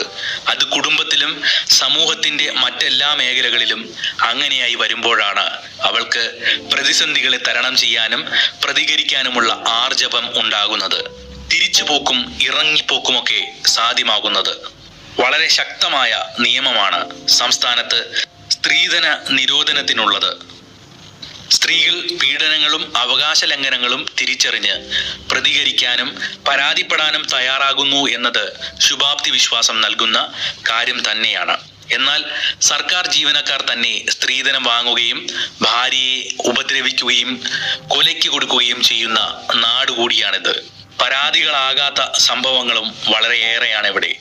ആരെങ്കിലും സ്ത്രീധനം വാങ്ങിയെന്ന പരാതി പോലീസിന്റെയോ നിയമത്തിന്റെയോ മുന്നിലെത്തിയാൽ നടപടിയുണ്ടാകുമെന്ന് ഉറപ്പാക്കുന്ന ഭരണ സംവിധാനം നമുക്കുണ്ട്. എന്നാൽ അവിടെ വരെ എത്തുന്ന കേസുകൾ കുറവാണ്. നിയമത്തെക്കുറിച്ചുള്ള അജ്ഞതയും അവകാശത്തെക്കുറിച്ചുള്ള അറിവില്ലായ്മയും പലരെയും പരാതിപ്പെടുന്നതിൽ നിന്ന് തടയുന്നുണ്ട്. കേസ് ഒത്തുതീർപ്പാക്കാനും അല്ലെങ്കിൽ കോടതിയിൽ നിന്ന് വിധി വരുന്നതിന് കാലതാമസം ഉണ്ടാകുമെന്നും അതുവരെ കോടതി കയറി ഇറങ്ങണമല്ലോ എന്നോർത്ത് പോകുന്നത് വരെ പോകട്ടെ എന്ന് കരുതുന്ന ഒരു വിഭാഗമുണ്ട്. ഭർത്താവും വീട്ടുകാരും തന്നോട് ചെയ്ത നിയമലംഘനമാണെന്നും നിയമവും സർക്കാരും സമൂഹവും ഒക്കെ ഒപ്പമുണ്ടെന്നുമുള്ള തിരിച്ചറിവുണ്ടായാൽ സ്ത്രീകൾക്ക് ഇഷ്ടമില്ലാത്ത വിവാഹ ജീവിതത്തിൽ തുടരേണ്ടി വരില്ല. വിവാഹം പോലെ തന്നെ വിവാഹമോചനവും ഒരു സാധാരണ സംഭവമാണെന്ന കാഴ്ചപ്പാടിലേക്ക് സമൂഹം എത്തേണ്ടതും അത്യാവശ്യമാണ്. അപ്പോഴും അറിവില്ലായ്മയേക്കാൾ ദുരഭിമാനം കാരണം പരാതി നൽകാത്ത ഒരു കൂട്ടരും നമുക്കിടയിലുണ്ടെന്നത് മറ്റൊരു യാഥാർത്ഥ്യമാണ്. പുരുഷാധിപത്യ സമൂഹത്തിൽ കാണപ്പെടുന്ന സ്ത്രീവിരുദ്ധമായ ഒരു ദുരാചാരമായിട്ടാണ് പലരും സ്ത്രീധനത്തെ സമീപിക്കുന്നത്. കൂടാതെ ഇതൊരു സമൂഹത്തിലെ സ്ത്രീയുടെ താഴ്ന്ന പദവിയെ സൂചിപ്പിക്കുന്നു. ആധുനിക ഇന്ത്യയിൽ സ്ത്രീധനത്തെ സ്വാധീനിക്കുന്ന ഒരുപാട് ഘടകങ്ങളുണ്ട്. ജാതി മതം വിദ്യാഭ്യാസം സാമ്പത്തിക സ്ഥിതി സൗന്ദര്യം നിറം മാതാപിതാക്കളുടെയും ആങ്ങളമാരുടെയും വരുമാനം സഹോദരിമാർക്ക് കൊടുത്ത സ്ത്രീധന തുക തുടങ്ങി പണവുമായി ബന്ധപ്പെട്ട പല അന്വേഷണങ്ങളും ഇന്നും ഇന്ത്യൻ വിവാഹങ്ങളുടെ മുന്നോടിയായി നടക്കുന്നു. ഇതിൽ നിറവും സൗന്ദര്യവുമൊക്കെ ഒരു ഘടകമാണെങ്കിലും അത് പെൺകുട്ടിയുടേത് മാത്രമാണ് പലപ്പോഴും പ്രശ്നമാകുന്നത്. നമ്മുടെ പാഠപുസ്തകങ്ങളിൽ വരെ കറുത്ത നിറമുള്ളവരെ അഗ്ലി എന്നും വെളുപ്പിനെ ഫെയർ എന്നുമാണല്ലോ വിശേഷിപ്പിക്കുന്നത്. കുഞ്ഞ് മക്കളുടെ മനസ്സിൽ വരെ നിറത്തെക്കുറിച്ച് പറയുന്ന ചിത്രം ഇതാണ്. അതവരുടെ വളർച്ചയുടെ ഘട്ടങ്ങളിൽ അവരുടെ കാഴ്ചപ്പാടുകളെ സ്വാധീനിക്കുമെന്നത് ഉറപ്പാണല്ലോ. ഒരാളെങ്കിലും വെളുത്തിരുന്നാലേ വെള്ള നിറമുള്ള കുഞ്ഞുണ്ടാകൂ എന്ന ധാരണയിൽ മകന് പെണ്ണു തിരക്കുന്ന രക്ഷിതാക്കൾ വരെ ഉള്ള നാടാണ് നമ്മുടേത്. ഈ അടുത്ത് സ്ത്രീധനത്തിന്റെ ഗുണങ്ങൾ എന്തെല്ലാമെന്ന് വ്യക്തമാക്കുന്ന ഇന്ത്യൻ നഴ്സിംഗ് കൗൺസിലിന്റെ സിലബസിന് കീഴിൽ വന്ന ഒരു പുസ്തകം ഏറെ വിവാദങ്ങൾ സൃഷ്ടിച്ചിരുന്നു. സ്ത്രീധനം നിരോധിച്ചിരിക്കുന്ന ഒരു രാജ്യത്താണ് സ്ത്രീധനത്തിന്റെ ഗുണങ്ങൾ പുസ്തകങ്ങളിൽ ഉൾപ്പെടുത്തിയിട്ടുള്ളത്. സ്ത്രീധനമായി ലഭിക്കുന്ന ഫർണിച്ചറുകൾ വാഹനങ്ങൾ തുടങ്ങിയ വീട്ടുപകരണങ്ങൾ ഒരു പുതിയ കുടുംബം ആരംഭിക്കുന്നതിന് സഹായകരമാണ് എന്നാണ് സ്ത്രീധനത്തിന്റെ ഗുണങ്ങളുടെ ആദ്യ പോയിന്റായി പറയുന്നത്. കാണാൻ ഭംഗി കുറഞ്ഞ പെൺകുട്ടികളുടെ വിവാഹം ആകർഷകമായ സ്ത്രീധനം നൽകിയാൽ നടക്കുമെന്നത് വലിയൊരു നേട്ടമായാണ് പുസ്തകം കണക്കാക്കുന്നത്. മാത്രമല്ല സ്ത്രീധനം കുറച്ചു കൊടുക്കാൻ വേണ്ടി രക്ഷിതാക്കൾ പെൺകുട്ടികൾക്ക് കൂടുതൽ വിദ്യാഭ്യാസം നൽകാൻ തുടങ്ങിയത് സ്ത്രീധനത്തിന്റെ പരോക്ഷമായ നേട്ടമാണെന്നും പാഠഭാഗത്ത് പറയുന്നുണ്ട്. ഇത്തരം മനോഭാവങ്ങൾ നമ്മുടെ സമൂഹത്തിൽ എത്രത്തോളം വേര് പിടിച്ചിട്ടുണ്ടെന്നതിന് തെളിവാണിതൊക്കെയും. വിദ്യാഭ്യാസമോ തൊഴിലോ മറ്റു വരുമാന മാർഗമോ ഒന്നുമില്ലാത്ത സ്ത്രീയെ അവളുടെ ജീവിതകാലം മുഴുവൻ സംരക്ഷിക്കുന്നതിന് പകരമായി പുരുഷൻ കൈപ്പറ്റുന്ന ധനമാണ് സ്ത്രീധനം എന്ന് പറഞ്ഞ് ന്യായീകരിക്കുന്ന ഒരു വിഭാഗവും നമുക്കിടയിലുണ്ട്. എന്നാൽ ഈ സ്ത്രീകൾ ഭർത്താവിന്റെ വീട്ടിലെ ജോലികൾ ചെയ്യുന്നത് ഒരു തൊഴിലിന് തുല്യം തന്നെയാണ് എന്ന് മറുവാദവും ഉയരാറുണ്ട്. ഇത് രണ്ടുമല്ലാതെ ദാമ്പത്യ ജീവിതത്തിൽ പരസ്പരം തുല്യ പങ്കാളിയായി കാണാൻ കഴിയുമോ എന്നതാണ് പ്രസക്തമായ മറ്റൊരു ചോദ്യം. സ്ത്രീധനത്തിന്റെ പേരിലുള്ള അതിക്രമങ്ങൾ പലതരത്തിലാകാം. ശാരീരിക പീഡനം മാനസിക പീഡനം ലൈംഗിക പീഡനം വ്യക്തി സ്വാതന്ത്ര്യത്തെ ഹനിക്കുക തുടങ്ങി ചെറുതും വലുതുമായി പല തലങ്ങൾ ഇത്തരം അതിക്രമങ്ങൾക്കുണ്ടാകും. പുരുഷനാണ് സ്ത്രീയെക്കാളും ഉന്നതൻ. സ്ത്രീകളുടെ മേൽ അധികാരം ഉപയോഗിക്കാൻ പുരുഷന് അവകാശമുണ്ട്. സ്ത്രീയെ വരുതിക്ക് നിർത്താൻ വേണ്ടി വന്നാൽ ശാരീരികമായി അതിക്രമിക്കുന്നതിലും തെറ്റില്ല. സ്ത്രീ എല്ലാ അതിക്രമങ്ങളും സഹിച്ചും ക്ഷമിച്ചും അവളുടെ കുടുംബജീവിതം സംരക്ഷിക്കണം എന്നിങ്ങനെയുള്ള പൊതുധാരണകളാണ് സ്ത്രീകളെ ഉപദ്രവിക്കാൻ പുരുഷന്മാർക്ക് ലൈസൻസ് നൽകുന്നത്. ഇതിനോടൊപ്പം ലഹരി ഉപയോഗം ചില വ്യക്തിത്വ വൈകല്യങ്ങൾ വീട്ടിൽ ഇത്തരം അതിക്രമങ്ങൾ കണ്ടു വളരുന്നതൊക്കെ ഉപദ്രവിക്കാൻ പ്രേരണയാകാം. കുറഞ്ഞ വിദ്യാഭ്യാസം തൊഴിലില്ലായ്മ സാമ്പത്തിക സ്വാതന്ത്ര്യമില്ലായ്മ വിവാഹ ബന്ധങ്ങളിൽ സ്ത്രീയുടെ പ്രായം കുറഞ്ഞിരിക്കുക തുടങ്ങിയ ഘടകങ്ങൾ എല്ലാം സഹിക്കാൻ നിർബന്ധിതരാക്കുകയും ചെയ്യും. പീഡനങ്ങൾ ഏൽക്കുന്നത് ശാരീരിക മാനസിക ആരോഗ്യ പ്രശ്നങ്ങൾക്ക് ഒപ്പം തന്നെ അതേ അവസ്ഥയിൽ തുടരുകയാണെങ്കിൽ നീണ്ടു നിൽക്കുന്ന ആരോഗ്യ പ്രശ്നങ്ങൾക്കും കാരണമാകുമെന്നാണ് പഠനങ്ങൾ പറയുന്നത്. അതിക്രമം മൂലം പരിക്കുകൾ ഉണ്ടാകുക സാധാരണമാണ്. അൻപത് ശതമാനം ആളുകളിൽ വരെ ശാരീരികമായി പരിക്കുകൾ ഉണ്ടാകുന്നുണ്ട് എന്നാണ് കണക്കുകൾ സൂചിപ്പിക്കുന്നത്. ഇതോടൊപ്പം പ്രമേഹം രക്തസമ്മർദ്ദം തുടങ്ങിയ രോഗാവസ്ഥകൾ ഉണ്ടാകാനുള്ള സാധ്യതയും ഇവരിൽ കൂടുതലാണ്. ഗാർഹിക പീഡനങ്ങൾക്ക് ഇരയാകുന്ന സ്ത്രീകളിൽ വിഷാദം ഉത്കണ്ഠാരോഗം പി ടി എസ് ഡി ഉറക്ക പ്രശ്നങ്ങൾ തുടങ്ങിയ മാനസിക രോഗാവസ്ഥകൾ ഉണ്ടാകാനുള്ള സാധ്യത പല മടങ്ങ് കൂടുതലാണ്. അതുപോലെ ആത്മഹത്യാ പ്രവണതയും ആത്മഹത്യയും ഇവരിൽ കൂടുതലാണ്. അനവസരത്തിലുണ്ടാകുന്ന ഗർഭധാരണം abortion H I V AIDS S T D പോലെയുള്ള ലൈംഗിക രോഗങ്ങൾ ഒക്കെ പീഡനങ്ങൾക്ക് ഇരയാകുന്നവരിൽ കൂടുതലാണ്. സ്ത്രീകളുടെ കൊലപാതകങ്ങൾ നല്ലൊരു ശതമാനവും പങ്കാളിയുടെ അല്ലെങ്കിൽ മുൻ പങ്കാളിയുടെ കൈകൾ കൊണ്ടാണ് എന്നാണ് കണക്കുകൾ സൂചിപ്പിക്കുന്നത്. അതുപോലെ സ്ത്രീകളുടെ ആത്മഹത്യയുടെ പ്രധാന കാരണവും ഈ പീഡനങ്ങളാണ്. ശാരീരിക രോഗങ്ങൾ മൂലമുള്ള മരണങ്ങളിലും ഗാർഹിക പീഡനത്തിന് പങ്കുണ്ട്. സ്ത്രീകളുടെ മാത്രമല്ല ഇത്തരം സാഹചര്യത്തിൽ ജീവിക്കുന്ന കുട്ടികളുടെ ആരോഗ്യവും മോശകരമാണ്. ശാരീരിക വളർച്ചക്കുറവ് പോഷകാഹാരക്കുറവ് ശിശുമരണ നിരക്ക് തുടങ്ങിയവ ഇത്തരം സാഹചര്യത്തിൽ വളരുന്ന കുട്ടികളിൽ കൂടുതലാണ്. അതോടൊപ്പം കുട്ടിയുടെ ശാരീരിക മാനസിക വളർച്ചയെയും കുടുംബാന്തരീക്ഷം സ്വാഭാവികമായും ബാധിച്ചേക്കും. ഇനി ഇതൊന്നുമല്ലാതെ സ്ത്രീധനം വിതച്ച മറ്റു ചില വിപത്തുകളും നമുക്ക് മുന്നിലുണ്ട്. പെൺമക്കളുടെ വിവാഹ ആവശ്യങ്ങൾക്ക് വേണ്ടി വായ്പയെടുത്ത് പിന്നീട് അത് തിരിച്ചടയ്ക്കാനാകാതെ കിടപ്പാടം നഷ്ടപ്പെട്ട അനേകം കുടുംബങ്ങളുടെ കണ്ണുനീരിനും സ്ത്രീധനം ഒരു പ്രധാന വില്ലനാണ്. ഇത്തരം വിഷയങ്ങളിൽ ഇടപെടേണ്ടി വന്നതിന്റെ അനുഭവങ്ങൾ സർഫാസി വിരുദ്ധ സമര പ്രവർത്തകയായ വി സി ജെന്നി മാധ്യമങ്ങൾക്ക് മുന്നിൽ പങ്കുവച്ചിട്ടുള്ളത് ശ്രദ്ധേയമാണ്. എറണാകുളത്തെ വൈപ്പിൻ ചേറായി ഫോർട്ട് കൊച്ചി തുടങ്ങിയ ഭാഗങ്ങളിലെല്ലാം ഇത്തരത്തിൽ അനേകം കുടുംബങ്ങൾ സർഫാസി നിയമത്തിൽ കുടുങ്ങി വീട് ജപ്തി ചെയ്യപ്പെട്ട് പോകാൻ മറ്റൊരിടമില്ലാത്ത അവസ്ഥയിലാണെന്നും സ്ത്രീധനമാണ് ആ കുടുംബങ്ങളെ ഈ അവസ്ഥയിലേക്ക് എത്തിച്ചതെന്നും ജെന്നി പറയുന്നു. സാധാരണക്കാരായ കൂലിപ്പണിക്കാരും തൊഴിലാളികളായ കുടുംബങ്ങളും ബാങ്കുകളിൽ നിന്നോ സ്വകാര്യ പലിശ സംഘങ്ങളിൽ നിന്നോ വായ്പ എടുക്കുന്നത് മിക്കപ്പോഴും പെൺമക്കളുടെ വിവാഹ ആവശ്യങ്ങൾക്ക് വേണ്ടിയായിരിക്കും. എങ്ങനെയും മകളുടെ വിവാഹം നടന്നു കാണണമെന്ന് ആഗ്രഹിക്കുന്ന നിർധനരായ ഈ കുടുംബങ്ങൾ ഭീമമായ പലിശയ്ക്ക് ആകെയുള്ള വീടും പുരയിടവും ഈടായി നൽകി വായ്പയെടുക്കും.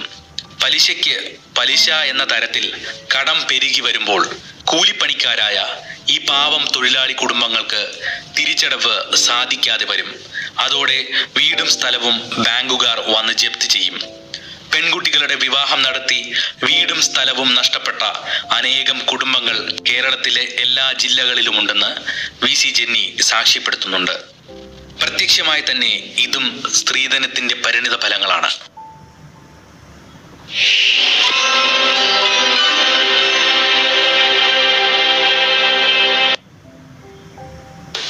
ജോൺ ഗ്രേ എന്ന എഴുത്തുകാരൻ അദ്ദേഹത്തിന്റെ ജീവിതകഥ തന്നെയാണ്.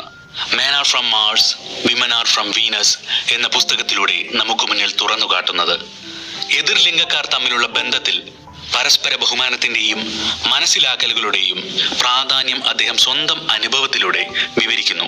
വർഷങ്ങൾക്ക് ശേഷം ജോൺ ഗ്രേക്കും ഭാര്യ ബോണിക്കും ഒരു മകൾ ജനിക്കുകയാണ്. അവർ അവൾക്ക് ലോറൻ എന്ന് പേരിട്ടു. ജനിച്ച് ഒരാഴ്ച കഴിഞ്ഞപ്പോൾ തന്നെ അവൾ എല്ലാ രാത്രിയിലും ഉറക്കെ കരഞ്ഞ് അവരുടെ ഉറക്കം കെടുത്തി. പ്രസവത്തെ തുടർന്ന് ബോണി മരുന്നുകൾ കഴിക്കുന്നുണ്ടായിരുന്നു. ശരീരത്തിലെ മുറിവുകൾ കൊണ്ട് അവൾ വല്ലാതെ അസ്വസ്ഥയായിരുന്നു. ഈ അവസ്ഥയിൽ ബോണിക്കും ലോറയ്ക്കുമൊപ്പം അഞ്ച് ദിവസം ലീവ് എടുത്ത് ഗ്രേ വീട്ടിലിരിക്കുന്നു. ശേഷം ജോലിക്ക് പോയി തുടങ്ങി. എന്നാൽ അയാൾ ദൂരെയായിരുന്ന ഒരു ദിവസം ബോണിയുടെ മരുന്നുകൾ തീർന്നു പോയി. മരുന്ന് വാങ്ങാൻ ഗ്രേ സഹോദരനോട് പറഞ്ഞെങ്കിലും അവനത് മറന്നു. ആ ദിവസം മുഴുവൻ അവൾ വേദന കടിച്ചമർത്തിക്കൊണ്ട് നീക്കി.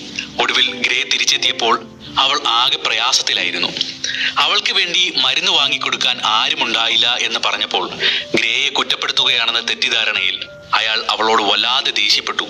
അവൾ അയാളെ വിളിക്കാത്തതിൽ പ്രകോപിതനായി ഗ്രേ അവളോട് ദേഷ്യപ്പെട്ട് വീട്ടിൽ നിന്നും ഇറങ്ങാനൊരുങ്ങി. എന്നാൽ ബോണി കരഞ്ഞുകൊണ്ട് തന്റെ ഭർത്താവിനോട് ഇങ്ങനെ പറഞ്ഞു ജോൺ നിങ്ങൾ പോവരുത്. ജീവിതത്തിൽ ഈ നിമിഷമാണ് ഞാൻ നിങ്ങളെ ഒരുപാട് ആഗ്രഹിക്കുന്നത്. ഞാനാകെ തളർന്നിരിക്കുകയാണ്. നിങ്ങളുടെ സാമീപ്യമാണ് എന്റെ ഏറ്റവും വലിയ മരുന്ന്. അവളുടെ ഈ വാക്കുകൾ ഗ്രേയെ ഒരുപാട് സ്പർശിച്ചിരുന്നു. ബോണി ഗ്രേയുടെ തോളോട് തോൾ ചേർന്നിരുന്നു. ഗ്രേ തന്റെ ജീവിതത്തിലെ ഏറ്റവും വലിയ വിജയമായിട്ടാണ് ഈ സംഭവത്തെ വിലയിരുത്തുന്നത് സ്നേഹബന്ധത്തിന്റെ ആഴം അയാൾ വളരെയധികം മനസ്സിലാക്കുന്നു. ഗ്രേയെ സംബന്ധിച്ച് അദ്ദേഹത്തിന്റെ ആദ്യ വൈവാഹിക ജീവിതം ഒട്ടും വിജയകരമായിരുന്നില്ല. ഈ ഒരു സംഭവത്തിലൂടെ അയാൾ എങ്ങനെയായി മാറണമെന്നുള്ള കാര്യം ബോണി അദ്ദേഹത്തിന് മനസ്സിലാക്കി കൊടുത്തു. പുരുഷന്മാരെ കുറിച്ചും സ്ത്രീകളെ കുറിച്ചുമുള്ള ഉൾക്കാഴ്ചകളെ പറ്റിയുള്ള ഏഴു വർഷമായിട്ടുള്ള ജോൺ ഗ്രേയുടെ പഠനത്തിന് ഈ ഒരു അനുഭവം ഏറെ സഹായിച്ചിട്ടുണ്ട്. ഗ്രേക്കും ബോണിക്കും ഇടയിലുള്ള വ്യത്യാസങ്ങളെ കുറിച്ചുള്ള അവബോധം അവരുടെ ഇടയിൽ ഉയർന്നു വന്നു. ആരും ഇതുവരെ പറഞ്ഞു കൊടുക്കാത്ത ജീവിതത്തെപ്പറ്റി അവർ പഠിച്ചു. ഞങ്ങളുടെ താല്പര്യങ്ങളും ഇഷ്ടങ്ങളും ചിന്തകളും വ്യത്യസ്തമാണെന്നും ഗ്രേ മനസ്സിലാക്കി. പിന്നീട് അദ്ദേഹം നടത്തിയ ഒരു കൗൺസിലിംഗിലൂടെ തന്റെ കണ്ടെത്തലുകൾ മറ്റുള്ളവരുമായി പങ്കുവച്ചപ്പോൾ അവരുടെ ജീവിതത്തിലും മാറ്റങ്ങൾ വരുന്നത് അയാൾക്ക് കാണാൻ സാധിച്ചു. തുടർന്ന് നടന്ന അദ്ദേഹത്തിന്റെ സെമിനാറുകളിൽ ഒരുപാട് പേർ പങ്കെടുത്തു. തന്റെ ക്ലാസ്സുകളിലൂടെ സ്ത്രീകളും പുരുഷന്മാരും തമ്മിലുള്ള അനേകായിരം വ്യത്യാസങ്ങൾ തുറന്നുകാട്ടാൻ അയാൾക്ക് സാധിച്ചിട്ടുണ്ട്. ഇതിലൂടെ ഒരുപാട് പേരുടെ ഹൃദയങ്ങളിൽ നിന്നും മനസ്സിലാക്കലുകളുടെ പുതിയ ചിന്തകൾ ഉയർന്നു വരികയാണ്. ആണും പെണ്ണും രണ്ടാണെന്നും അതിനെ ഒന്നായി കാണുന്നത് കൊണ്ടാണ് പലരുടെയും ബന്ധത്തിൽ വിള്ളൽ വീണുകൊണ്ടിരിക്കുന്നതെന്ന് അദ്ദേഹം പറയുന്നു. അതായത് സ്ത്രീകൾ ശുക്രനിൽ നിന്നുള്ളവരും പുരുഷന്മാർ ചെവ്വയിൽ നിന്നുള്ളവരുമാണ്. നിങ്ങൾ പരസ്പരം മനസ്സിലാക്കുന്നതിലൂടെ നിങ്ങൾക്കിടയിലെ സ്നേഹബന്ധം വളരുകയാണ് ചെയ്യുന്നത്. പുരുഷന്മാരും സ്ത്രീകളും അവരുടേതായ എല്ലാ മേഖലകളിലും വ്യത്യസ്തരാണ്. പരസ്പരം കേൾക്കുന്നതിലൂടെയും ബഹുമാനിക്കുന്നതിലൂടെയും നിങ്ങൾ ഓരോരുത്തരും ആഗ്രഹിക്കുന്ന സ്നേഹം എങ്ങനെ ഉണ്ടാക്കിയെടുക്കാമെന്ന് നിങ്ങൾക്ക് മനസ്സിലാവും. ഈ പുസ്തകത്തിൽ ഉടനീളം ബന്ധങ്ങളിലെ പ്രശ്നങ്ങൾ എങ്ങനെയെല്ലാം പരിഹരിക്കാമെന്ന് നിങ്ങൾ പഠിക്കും. അതിലൂടെ പങ്കാളിക്ക് കൂടുതൽ സ്നേഹവും പിന്തുണയും ബഹുമാനവും നിങ്ങൾക്ക് നൽകാനാവും. ജീവിതത്തിൽ ഇത്തരം പ്രശ്നങ്ങൾ അനുഭവിച്ചവരാണ് നിങ്ങളെങ്കിൽ. തീർച്ചയായും ഈ പുസ്തകം നിങ്ങൾക്ക് ഉപകാരപ്രദമാണ്.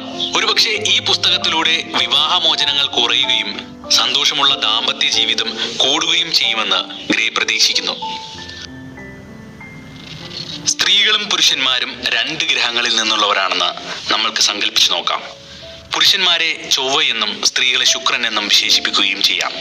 പരസ്പരം മറ്റാരെയും കാണാതെ രണ്ട് ഗ്രഹങ്ങളിലായി ജീവിച്ച ഇരുവരും ഒരിക്കൽ മറ്റൊരു ലിംഗം കൂടി ഈ ലോകത്തുണ്ടെന്ന് മനസ്സിലാക്കുന്നു. തുടർന്ന് പ്രണയത്തിലായ അവർ ബഹിരാകാശ യാത്രയ്ക്കൊരുങ്ങി. അങ്ങനെ ശുക്രനിൽ വെച്ച് അവർ കണ്ടുമുട്ടുന്നു. ശുക്രന്മാർ ഇരു കൈകളും നീട്ടി ചൊവ്വയെ സ്വീകരിച്ചു. ആദ്യ കാഴ്ചയിൽ തന്നെ പ്രണയമെന്ന വികാരത്തെ അവർ തിരിച്ചറിയുകയാണ്. പരസ്പരം വ്യത്യസ്തരായ വെവ്വേറെ താല്പര്യങ്ങളുള്ള വ്യത്യസ്ത കാഴ്ചപ്പാടുകളുള്ള മനുഷ്യർ. അങ്ങോട്ടും ഇങ്ങോട്ടും പരസ്പരം പഠിക്കാനും അവരുടെ വ്യത്യസ്ത ആവശ്യങ്ങൾ തിരിച്ചറിയാനും പ്രശംസിക്കാനും ബഹുമാനിക്കാനുമെല്ലാം മാസങ്ങൾ ചിലവഴിച്ചു. ഓരോരുത്തരുടെയും പെരുമാറ്റ രീതികളെ മനസ്സിലാക്കി വർഷങ്ങളോളം അവർ സ്നേഹത്തിലും ഐക്യത്തിലും ജീവിച്ചു. അങ്ങനെ പോകെ പോകെ വർഷങ്ങൾക്ക് ശേഷം അവർ ഭൂമി എന്ന ഗ്രഹത്തെക്കുറിച്ച് അറിയുകയും അവിടേക്ക് യാത്ര തിരിക്കുകയും ചെയ്തു. തുടക്കത്തിൽ എല്ലാം മനോഹരമായി തന്നെ തുടർന്നു. എന്നാൽ ഭൂമിയിലെ ജീവിതാനുഭവത്തിൽ അവർ പരസ്പരം പൂർവകാലത്തെക്കുറിച്ച് മറന്നുപോയിരുന്നു. തങ്ങൾ രണ്ട് ഗ്രഹങ്ങളിൽ നിന്നുള്ളവരാണെന്ന് തന്നെ മറന്നുപോയി. അവർ വേറിട്ടൊരു പെരുമാറ്റം കാണിച്ചു തുടങ്ങി. പരസ്പര ബഹുമാനം നഷ്ടപ്പെടും വിധം അവർ വഴക്കിട്ടു. നമ്മൾ വ്യത്യസ്തരാണെന്ന ബോധമില്ലാതെ പരസ്പരം ദേഷ്യപ്പെടുകയും നിരാശപ്പെടുകയും ചെയ്തു. ഭൂമിയിലെത്തും മുൻപ് അവർ കണ്ട ജീവിതത്തിൽ നിന്നും പൂർണമായും വ്യത്യസ്തമായിരുന്നു ഭൂമി. സ്ത്രീ പുരുഷന് വേണ്ടി അഡ്ജസ്റ്റ് ചെയ്യണമെന്ന് പുരുഷനും മറിച്ചാണ് വേണ്ടതെന്ന് സ്ത്രീയും ആവശ്യപ്പെട്ടു തുടങ്ങി. സ്ത്രീകളുടെ ചിന്താഗതികളും ആശയവിനിമയം പ്രതികരണശേഷിയുമെല്ലാം പുരുഷൻ പറയുന്നത് പോലെ ആവണമെന്നാണ് പുരുഷന്മാർ പ്രതീക്ഷിക്കുന്നത്. തിരിച്ച് പുരുഷന്മാരുടെ ചിന്താഗതികളും ആശയവിനിമയവും പ്രതികരണ രീതിയുമെല്ലാം സ്ത്രീകളെ പോലെ ആവണമെന്നാണ് സ്ത്രീ പ്രതീക്ഷിക്കുന്നത്. പക്ഷേ അവർ രണ്ട് ജീനുകളാണ്. അതുകൊണ്ട് തന്നെ അവർ വ്യത്യസ്തരായിരിക്കണം ഈ അവസ്ഥ തിരിച്ചറിയുകയും മനസ്സിലാക്കുകയും ചെയ്യുന്നതിലൂടെ ഇത്തരത്തിലുള്ള ആശയക്കുഴപ്പങ്ങൾ ഗണ്യമായി കുറയ്ക്കാൻ കഴിയും. വ്യക്തി സ്വാതന്ത്ര്യവും ബഹുമാനവും ഭൂമിയിൽ വാഴ്ത്തപ്പെടേണ്ട ഒന്നാണ്. പുരുഷൻ ചെവ്വയിൽ നിന്നാണെന്നും സ്ത്രീ ശുക്രനിൽ നിന്നാണെന്നും ഓർത്താൽ തന്നെ ഇവർ തമ്മിലുള്ള വ്യത്യാസങ്ങളെപ്പറ്റി നമുക്ക് മനസ്സിലാക്കാവുന്നതാണ്. പ്രണയം എന്നത് തികച്ചും മാന്ത്രികം തന്നെയാണ്. അനന്തമായ പ്രണയത്തിൽ ഓരോരുത്തരും വളരെ നിഷ്കളങ്കരായി തന്നെ തുടരുന്നു. പ്രണയം മരണത്തിനതീതമാണെങ്കിൽ പോലും ദൈനംദിന ജീവിതത്തിലേക്ക് കടക്കുന്നതിലൂടെ അവർ പരസ്പരം മറ്റുള്ളവരുടെ കാര്യത്തിൽ അമിത പ്രതീക്ഷ നൽകുന്നു. അതായത് തുടർന്നുള്ള ജീവിതത്തിൽ പരസ്പരം ബഹുമാനത്തിന്റെയോ മനസ്സിലാക്കലിന്റെയോ സാന്നിധ്യം കുറയുകയാണ്. മറ്റുള്ളവർ എങ്ങനെ പെരുമാറണം എന്ത് ചെയ്യണം എന്ത് തീരുമാനിക്കണം എന്നുള്ളതൊക്കെ നമ്മൾ ആഗ്രഹിക്കുന്നതിലൂടെ വിള്ളൽ വീഴുകയാണ്. ഇവിടെ പ്രണയം മരിച്ചുകൊണ്ടിരിക്കുകയാണ്. അതെ തികച്ചും സ്നേഹപൂർവമായ ഉദ്ദേശത്തിലൂടെ പ്രണയം മരിച്ചുകൊണ്ടിരിക്കുകയാണ്. ഇതോടെ നമ്മൾ ഇതുവരെ കണ്ട പ്രണയത്തിൽ നിന്നും പൂർണമായും തെന്നിമാറിക്കൊണ്ട് ജീവിത പ്രശ്നങ്ങളിലേക്ക് ചുവടുവെക്കുകയാണ്. പരസ്പര വിശ്വാസം നഷ്ടപ്പെട്ട് ആശയവിനിമയം തകർന്ന് നീരസങ്ങൾ പടുത്തുയർന്ന് പ്രശ്നങ്ങൾ തുടർന്നുകൊണ്ടേയിരിക്കും. സ്നേഹത്തിന്റെ മാന്ത്രികത നഷ്ടപ്പെട്ട് തിരസ്കരണവും അടിച്ചമർത്തലും മാത്രമായി മാറിപ്പോവുകയാണ് ജീവിതം. നമ്മുടെ വ്യത്യസ്തതകളെ തിരിച്ചറിയാനോ അതല്ലെങ്കിൽ പരസ്പരം മനസ്സിലാക്കാനോ ബഹുമാനിക്കാനോ ആരും സമയം കണ്ടെത്തുന്നില്ല. കണക്കനുസരിച്ച് ഓരോ വർഷവും ദശലക്ഷക്കണക്കിന് പേർ പ്രണയത്തിൽ ഒന്നിക്കുകയും പിന്നീട് വേദനയോടെ വേർപിരിയുകയും ചെയ്യുന്നു. ഇതിൽ അൻപത് ശതമാനത്തിലധികം പേർ തുടർന്ന് ജീവിക്കുന്നുണ്ടെങ്കിൽ പോലും അത് ശാശ്വതമായ പ്രണയം ആയിക്കൊള്ളണമെന്നില്ല. പലരും കടപ്പാടിന് ഭയന്ന് മാത്രം ഒരുമിച്ച് ജീവിക്കുകയാണ്. എങ്കിൽ പോലും ചില ആളുകൾക്ക് തീർച്ചയായും പ്രണയിതരായി തന്നെ ജീവിക്കാൻ കഴിയും. സ്ത്രീകളും പുരുഷന്മാരും പരസ്പരം മനസ്സിലാക്കി ബഹുമാനിച്ച് അവരുടെ പ്രത്യേകതകൾ മനസ്സിലാക്കി ജീവിക്കുകയാണെങ്കിൽ വീണ്ടും ഒരു പ്രണയവസന്തത്തിനുള്ള സാധ്യത വളരെ കൂടുതലാണ്. എങ്ങനെയാണ് സ്ത്രീകളും പുരുഷന്മാരും വ്യത്യസ്തരാകുന്നതെന്ന് നിങ്ങൾ ചിന്തിച്ചിട്ടുണ്ടോ? ശരീരഘടനകൾ കൊണ്ട് തന്നെ വ്യത്യസ്തരാണ് അവർ ഓരോ വിഭാഗത്തിനും അവരുടേതായ കഴിവുകളും താല്പര്യങ്ങളുമുണ്ട്. ആ താല്പര്യങ്ങളുടെ അടിസ്ഥാനത്തിൽ നമ്മൾ ഉദ്ദേശിക്കുന്നവരും നമ്മളെപ്പോലെ ആവണമെന്ന് പറയുകയും ചിന്തിക്കുകയും ചെയ്യുന്നിടത്താണ് പ്രശ്നങ്ങൾ കൂടുതൽ വഷളാവുന്നത്. നമ്മളുടെ താല്പര്യങ്ങൾ നമ്മുടേത് മാത്രമാണെന്ന് നമ്മൾ തിരിച്ചറിയുന്നില്ല. അല്ലെങ്കിൽ തിരിച്ചറിഞ്ഞിട്ടും അതിനെ അംഗീകരിക്കാൻ നമ്മൾ തയ്യാറാവുന്നില്ല എന്നതാണ് സത്യം. ആൺ പെൺ എന്നീ രണ്ട് വിഭാഗങ്ങൾ മാത്രമല്ലാതെ തന്നെ മറ്റേത് വിഭാഗം എടുത്താലും ഓരോന്നിനും അതിന്റെതായ പ്രത്യേകതകളും താല്പര്യങ്ങളുമുണ്ട്. അത് നമ്മൾ അംഗീകരിക്കാൻ തയ്യാറാവണം. പലപ്പോഴും സ്ത്രീകളുടെ താല്പര്യങ്ങളിൽ സംതൃപ്തനാവാത്ത പുരുഷൻ അവൾക്ക് എന്തുകൊണ്ട് പുരുഷന്മാരെ പോലെ ചിന്തിച്ചുകൂടാ എന്നാണ് പറയുന്നത്. സ്ത്രീകളും ഇതുപോലെ തന്നെയാണ്. തന്റെ ഇഷ്ടങ്ങൾ പുരുഷന്മാരുടെ കൂടെ ഇഷ്ടങ്ങളാകണമെന്ന് അവൾ ആഗ്രഹിക്കുകയാണ്. അത് ഈ കാലഘട്ടത്തിൽ സാധ്യമാണോ? അല്ല ഈ കാലഘട്ടത്തിൽ എന്നല്ല. ഒരു കാലഘട്ടത്തിലും ഇത് സാധ്യമല്ല. കാരണം അതിൽ ഒരു വിഭാഗം ആണും മറ്റൊരു വിഭാഗം പെണ്ണുമാണ്. ഇനി അഥവാ സ്ത്രീകൾക്കൊത്ത് പുരുഷനും പുരുഷനൊത്ത് സ്ത്രീകളും ആഗ്രഹങ്ങൾ പങ്കുവെക്കുന്നുണ്ടെങ്കിൽ അതൊരു അഡ്ജസ്റ്റ്മെന്റ് മാത്രമാകും. ഇവിടെ നമ്മൾ നമ്മുടെ പങ്കാളിയെ എങ്ങനെ സ്നേഹിക്കുന്നുവോ അതുപോലെ തന്നെയുള്ള രീതികളിലൂടെയും വഴികളിലൂടെയും അവർ നമ്മളെയും സ്നേഹിക്കുമെന്ന് നമ്മൾ തെറ്റായി അനുമാനിക്കുകയാണ്. ഇങ്ങനെയൊക്കെ ചിന്തിക്കുന്നത് കൊണ്ട് തന്നെയാണ് നമ്മുടെയൊക്കെ ബന്ധങ്ങളിൽ സംഘർഷം നിറയുന്നത്. നമ്മൾ രണ്ടാണെന്ന് വ്യക്തമായി തിരിച്ചറിയുകയും ബഹുമാനിക്കുകയും ചെയ്യുമ്പോൾ നമ്മുടെ ഇടപെടലുകളിലൂടെയുള്ള പ്രശ്നങ്ങൾ ഇല്ലാതെയാവും. തീർച്ചയായും ഈ ലോകത്തിലെ മനോഹരമായ വികാരങ്ങളിൽ ഒന്ന് പ്രണയം തന്നെയാണ്. പ്രണയിക്കാനും പ്രണയിക്കപ്പെടാനും ഏതൊരു വ്യക്തിയും ആഗ്രഹിക്കുന്നുണ്ടാവും. പ്രണയത്തിലൂടെ തന്റെ ജീവിതത്തിന്റെ നല്ലൊരു ഭാഗം വർണശോഭമാക്കുകയാണ് മനുഷ്യർ. സത്യത്തിൽ നമ്മളെല്ലാം നമ്മുടെ പ്രണയ വികാരം പ്രകടിപ്പിക്കുന്നതിൽ വിജയിച്ചവരാണോ? അതോ നമ്മുടെ പ്രണയ രീതി തന്നെയാണോ അതിന്റെ യഥാർത്ഥ വഴി? തീർച്ചയായും പ്രണയത്തിലും ജീവിതത്തിലും നമ്മൾ ഒരുപാട് കാര്യങ്ങൾ തിരിച്ചറിയേണ്ടതുണ്ട്. അതിനെ ഒരിക്കലും നിസ്സാരവൽക്കരിക്കരുത്. വളരെ എളുപ്പം നമുക്ക് പ്രകടിപ്പിക്കാൻ കഴിയുന്ന ഒന്നല്ല പ്രണയം. ആണും പെണ്ണും രണ്ടായതിനാൽ തന്നെ നമ്മുടെ പ്രതികരണ രീതിയിൽ തന്നെ ഒരുപാട് മാറ്റങ്ങളുണ്ടെന്ന് നാം പഠിക്കേണ്ടതുണ്ട്. ചുരുക്കത്തിൽ പരസ്പര ബഹുമാനത്തോടെയുള്ള പ്രണയത്തിലൂടെ ജീവിതം വളരെ സൂക്ഷ്മതയുള്ളതാക്കാൻ നമുക്ക് സാധിക്കും. അതിലും പ്രധാനമായി അതിമനോഹരമായി സ്നേഹിക്കാനും നമുക്ക് പറ്റും. പ്രണയം അനന്തമായ മാന്ത്രികമായ ഒന്നാണ്. നമ്മൾ ഓരോരുത്തരും വ്യത്യസ്തരാണെന്നുള്ള ബോധ്യത്തിൽ നിന്നുകൊണ്ട് അത് പടർന്ന് പന്തലിക്കുക തന്നെ ചെയ്യും. എന്തുകൊണ്ടായിരിക്കാം സ്ത്രീകളും പുരുഷന്മാരും തമ്മിൽ എപ്പോഴും വഴക്കിട്ടുകൊണ്ടിരിക്കുന്നത്? എല്ലാ കാലഘട്ടത്തിലും പുരുഷന്മാരെ കുറിച്ചുള്ള സ്ത്രീയുടെ പരാതി അവൻ സ്ത്രീകളെ കേൾക്കാൻ തയ്യാറാവുന്നില്ല എന്നതാണ്. സ്ത്രീ പുരുഷനോട് സംസാരിക്കാൻ ശ്രമിക്കുമ്പോഴെല്ലാം അവൻ അവളെ അവഗണിച്ചു കൊണ്ടിരിക്കുകയാണ് എന്നിട്ടോ അവസാനം ഒരു മിസ്റ്റർ ഫിക്സിഡ് ക്യാപ്പ് ധരിച്ച് അവൾക്കുള്ള പ്രശ്നത്തിന് പരിഹാരം കണ്ടെത്തി കൊടുക്കുകയാണ് ചെയ്യുന്നത്. പക്ഷേ സ്നേഹത്തിന്റെ തെളിവായി കണക്കാക്കുന്ന ഈ ഒരു പരിഹാരം സ്ത്രീകളെ സംബന്ധിച്ച് വളരെ മോശമാണ് താനും. ഇവിടെയാണ് പുരുഷന്മാർക്ക് തെറ്റുന്നത്. പുരുഷന്മാരിൽ നിന്നും സഹാനുഭൂതിയാണ് സ്ത്രീ ആഗ്രഹിക്കുന്നത്. പ്രശ്നങ്ങൾക്ക് പരിഹാരം എന്നതിനപ്പുറം ഏതൊരു സ്ത്രീയും ആഗ്രഹിക്കുന്നത് സാന്ത്വനം തന്നെയാണ്. പലപ്പോഴും സ്ത്രീകളെ കുറിച്ച് പുരുഷന്മാർ പറയുന്ന പരാതി അവർ തങ്ങൾക്ക് മേൽ ആധിപത്യം സ്ഥാപിക്കാൻ ശ്രമിക്കുന്നു എന്നതാണ്. എന്നാൽ സ്ത്രീ പുരുഷനെ സ്നേഹിക്കുമ്പോൾ അവൾ അവനെ ഉയർച്ചയിലേക്ക് വളരാൻ സഹായിക്കുകയാണ്. അതവരുടെ ഉത്തരവാദിത്തമായാണ് അവർ കണക്കാക്കുന്നത്. അതിനായി അവർ ഒരു ഹോം ഇംപ്രൂവ്മെന്റ് കമ്മിറ്റി തന്നെ രൂപീകരിക്കുന്നു. ഇതോടെ അവളുടെ പ്രാഥമിക ശ്രദ്ധ മുഴുവൻ അയാളിൽ ആയിത്തീരുകയാണ്. എന്നാൽ സ്വീകാര്യത മാത്രം ആഗ്രഹിക്കുന്ന സ്ത്രീകൾ പലപ്പോഴും ഇവിടെ പഴിചാരപ്പെടുന്നു അതുകൊണ്ട് തന്നെയാണല്ലോ അവർ എല്ലായിടത്തും അവഗണിക്കപ്പെടുന്നതും. നമ്മൾ നേരത്തെ പറഞ്ഞതുപോലെ ചൊവ്വയിലെയും ശുക്രനിലെയും ജീവിതശൈലിയെക്കുറിച്ച് മാത്രം പഠിക്കുകയാണെങ്കിൽ അവരിലുള്ള വ്യത്യസ്തതകളെക്കുറിച്ച് മനസ്സിലാക്കാനാവും. ചൊവ്വക്കാർ പൊതുവെ ശക്തി കഴിവ് കാര്യക്ഷമത കൂടാതെ അവരുടെ നേട്ടങ്ങൾ എന്നിവയിലാണ് ശ്രദ്ധ കേന്ദ്രീകരിക്കുന്നത്. അവർ എപ്പോഴും അവരുടെ കഴിവുകൾ തെളിയിക്കാനും അവരുടെ ശക്തി വികസിപ്പിക്കാനും ശ്രമിക്കുന്നവരാണ്. ചൊവ്വയുടെ ഈ സ്വഭാവ പ്രത്യേകതകളെല്ലാം മൂല്യങ്ങളുടെ പ്രതിഫലനം തന്നെയാണ്. പോലീസ് ഉദ്യോഗസ്ഥർ സൈനികർ വ്യവസായികൾ ശാസ്ത്രജ്ഞർ ക്യാബ് ഡ്രൈവർമാർ സാങ്കേതിക വിദഗ്ധർ പാചകക്കാർ തുടങ്ങിയവരെല്ലാം അവരുടെ കഴിവും ശക്തിയും ഒക്കെ പ്രതിഫലിപ്പിക്കുന്നതിനായി അവരുടെ വസ്ത്രധാരണത്തിൽ പോലും ശ്രദ്ധ ചൊലുത്തിയിട്ടുള്ളവരാണ് ഇതിനായി അവർ തൊപ്പിയോ യൂണിഫോമോ ധരിക്കുന്നത് നമ്മൾ തന്നെ പലപ്പോഴും ശ്രദ്ധിച്ചിട്ടുള്ളതാണല്ലോ. പുരുഷന്മാരുടെ പ്രത്യേകതകൾ മനസ്സിലാക്കാൻ അവരുടെ ഇഷ്ടങ്ങൾ നോക്കിയാൽ തന്നെ മതി. പുസ്തകങ്ങൾ വായിക്കുന്നതിനേക്കാൾ അവർക്കിഷ്ടം കാർ ഡ്രൈവിംഗ് വേട്ടയാടൽ മീൻപിടുത്തം തുടങ്ങിയവയിലൊക്കെയാണ്. വാർത്തകൾ അറിയുന്നതിലും സ്പോർട്സിലും അവർക്ക് താല്പര്യമുണ്ടെങ്കിൽ പോലും. റൊമാൻസ് നോവലുകളിലും സെൽഫ് ഹെൽപ്പ് പുസ്തകങ്ങളിലൊന്നും അവർ താല്പര്യം പ്രകടിപ്പിക്കാറില്ല. ഭൂമിയിലെ സ്ത്രീകൾ പ്രണയത്തോട് താല്പര്യം കാണിക്കുമ്പോൾ കമ്പ്യൂട്ടറുകളെ കുറിച്ചും കാറുകളെ കുറിച്ചുമാണ് പുരുഷന്മാർ ആലോചിക്കുന്നത്. തികച്ചും ലക്ഷ്യങ്ങൾ നേടിയെടുക്കുക എന്നത് ചൊവ്വക്കാരെ സംബന്ധിച്ച് ഏറ്റവും പ്രധാനം അറിയിക്കുന്ന ഒന്നാണ്. കാരണം അത് അവന്റെ കഴിവ് തെളിയിക്കാനുള്ള മാർഗമാണ്. മറ്റൊരാൾക്ക് അത് അവന് വേണ്ടി നേടിയെടുക്കാൻ സാധിക്കാത്തതിനാൽ അത് അവരാൽ തന്നെ നേടിയെടുക്കാൻ ഓരോരുത്തരും കഴിവതും പരിശ്രമിക്കും. പുരുഷന്മാരെ സംബന്ധിച്ച് സ്വയംഭരണം എന്നത് കാര്യക്ഷമത ശക്തി കഴിവ് എന്നിവയുടെ പ്രതീകം തന്നെയാണ്. പുരുഷ സമൂഹത്തിലെ ഈ എതിർപ്പുകൾ മനസ്സിലാക്കാൻ അവരുടെ ഈ പ്രത്യേകതകൾ മനസ്സിലാക്കിയാൽ മാത്രം മതി. അവരുടെ കഴിവിനെ വെല്ലുവിളിക്കുന്നതെന്തും നേടിയെടുക്കാൻ അവർക്ക് പ്രത്യേക ഊർജം തന്നെയായിരിക്കും.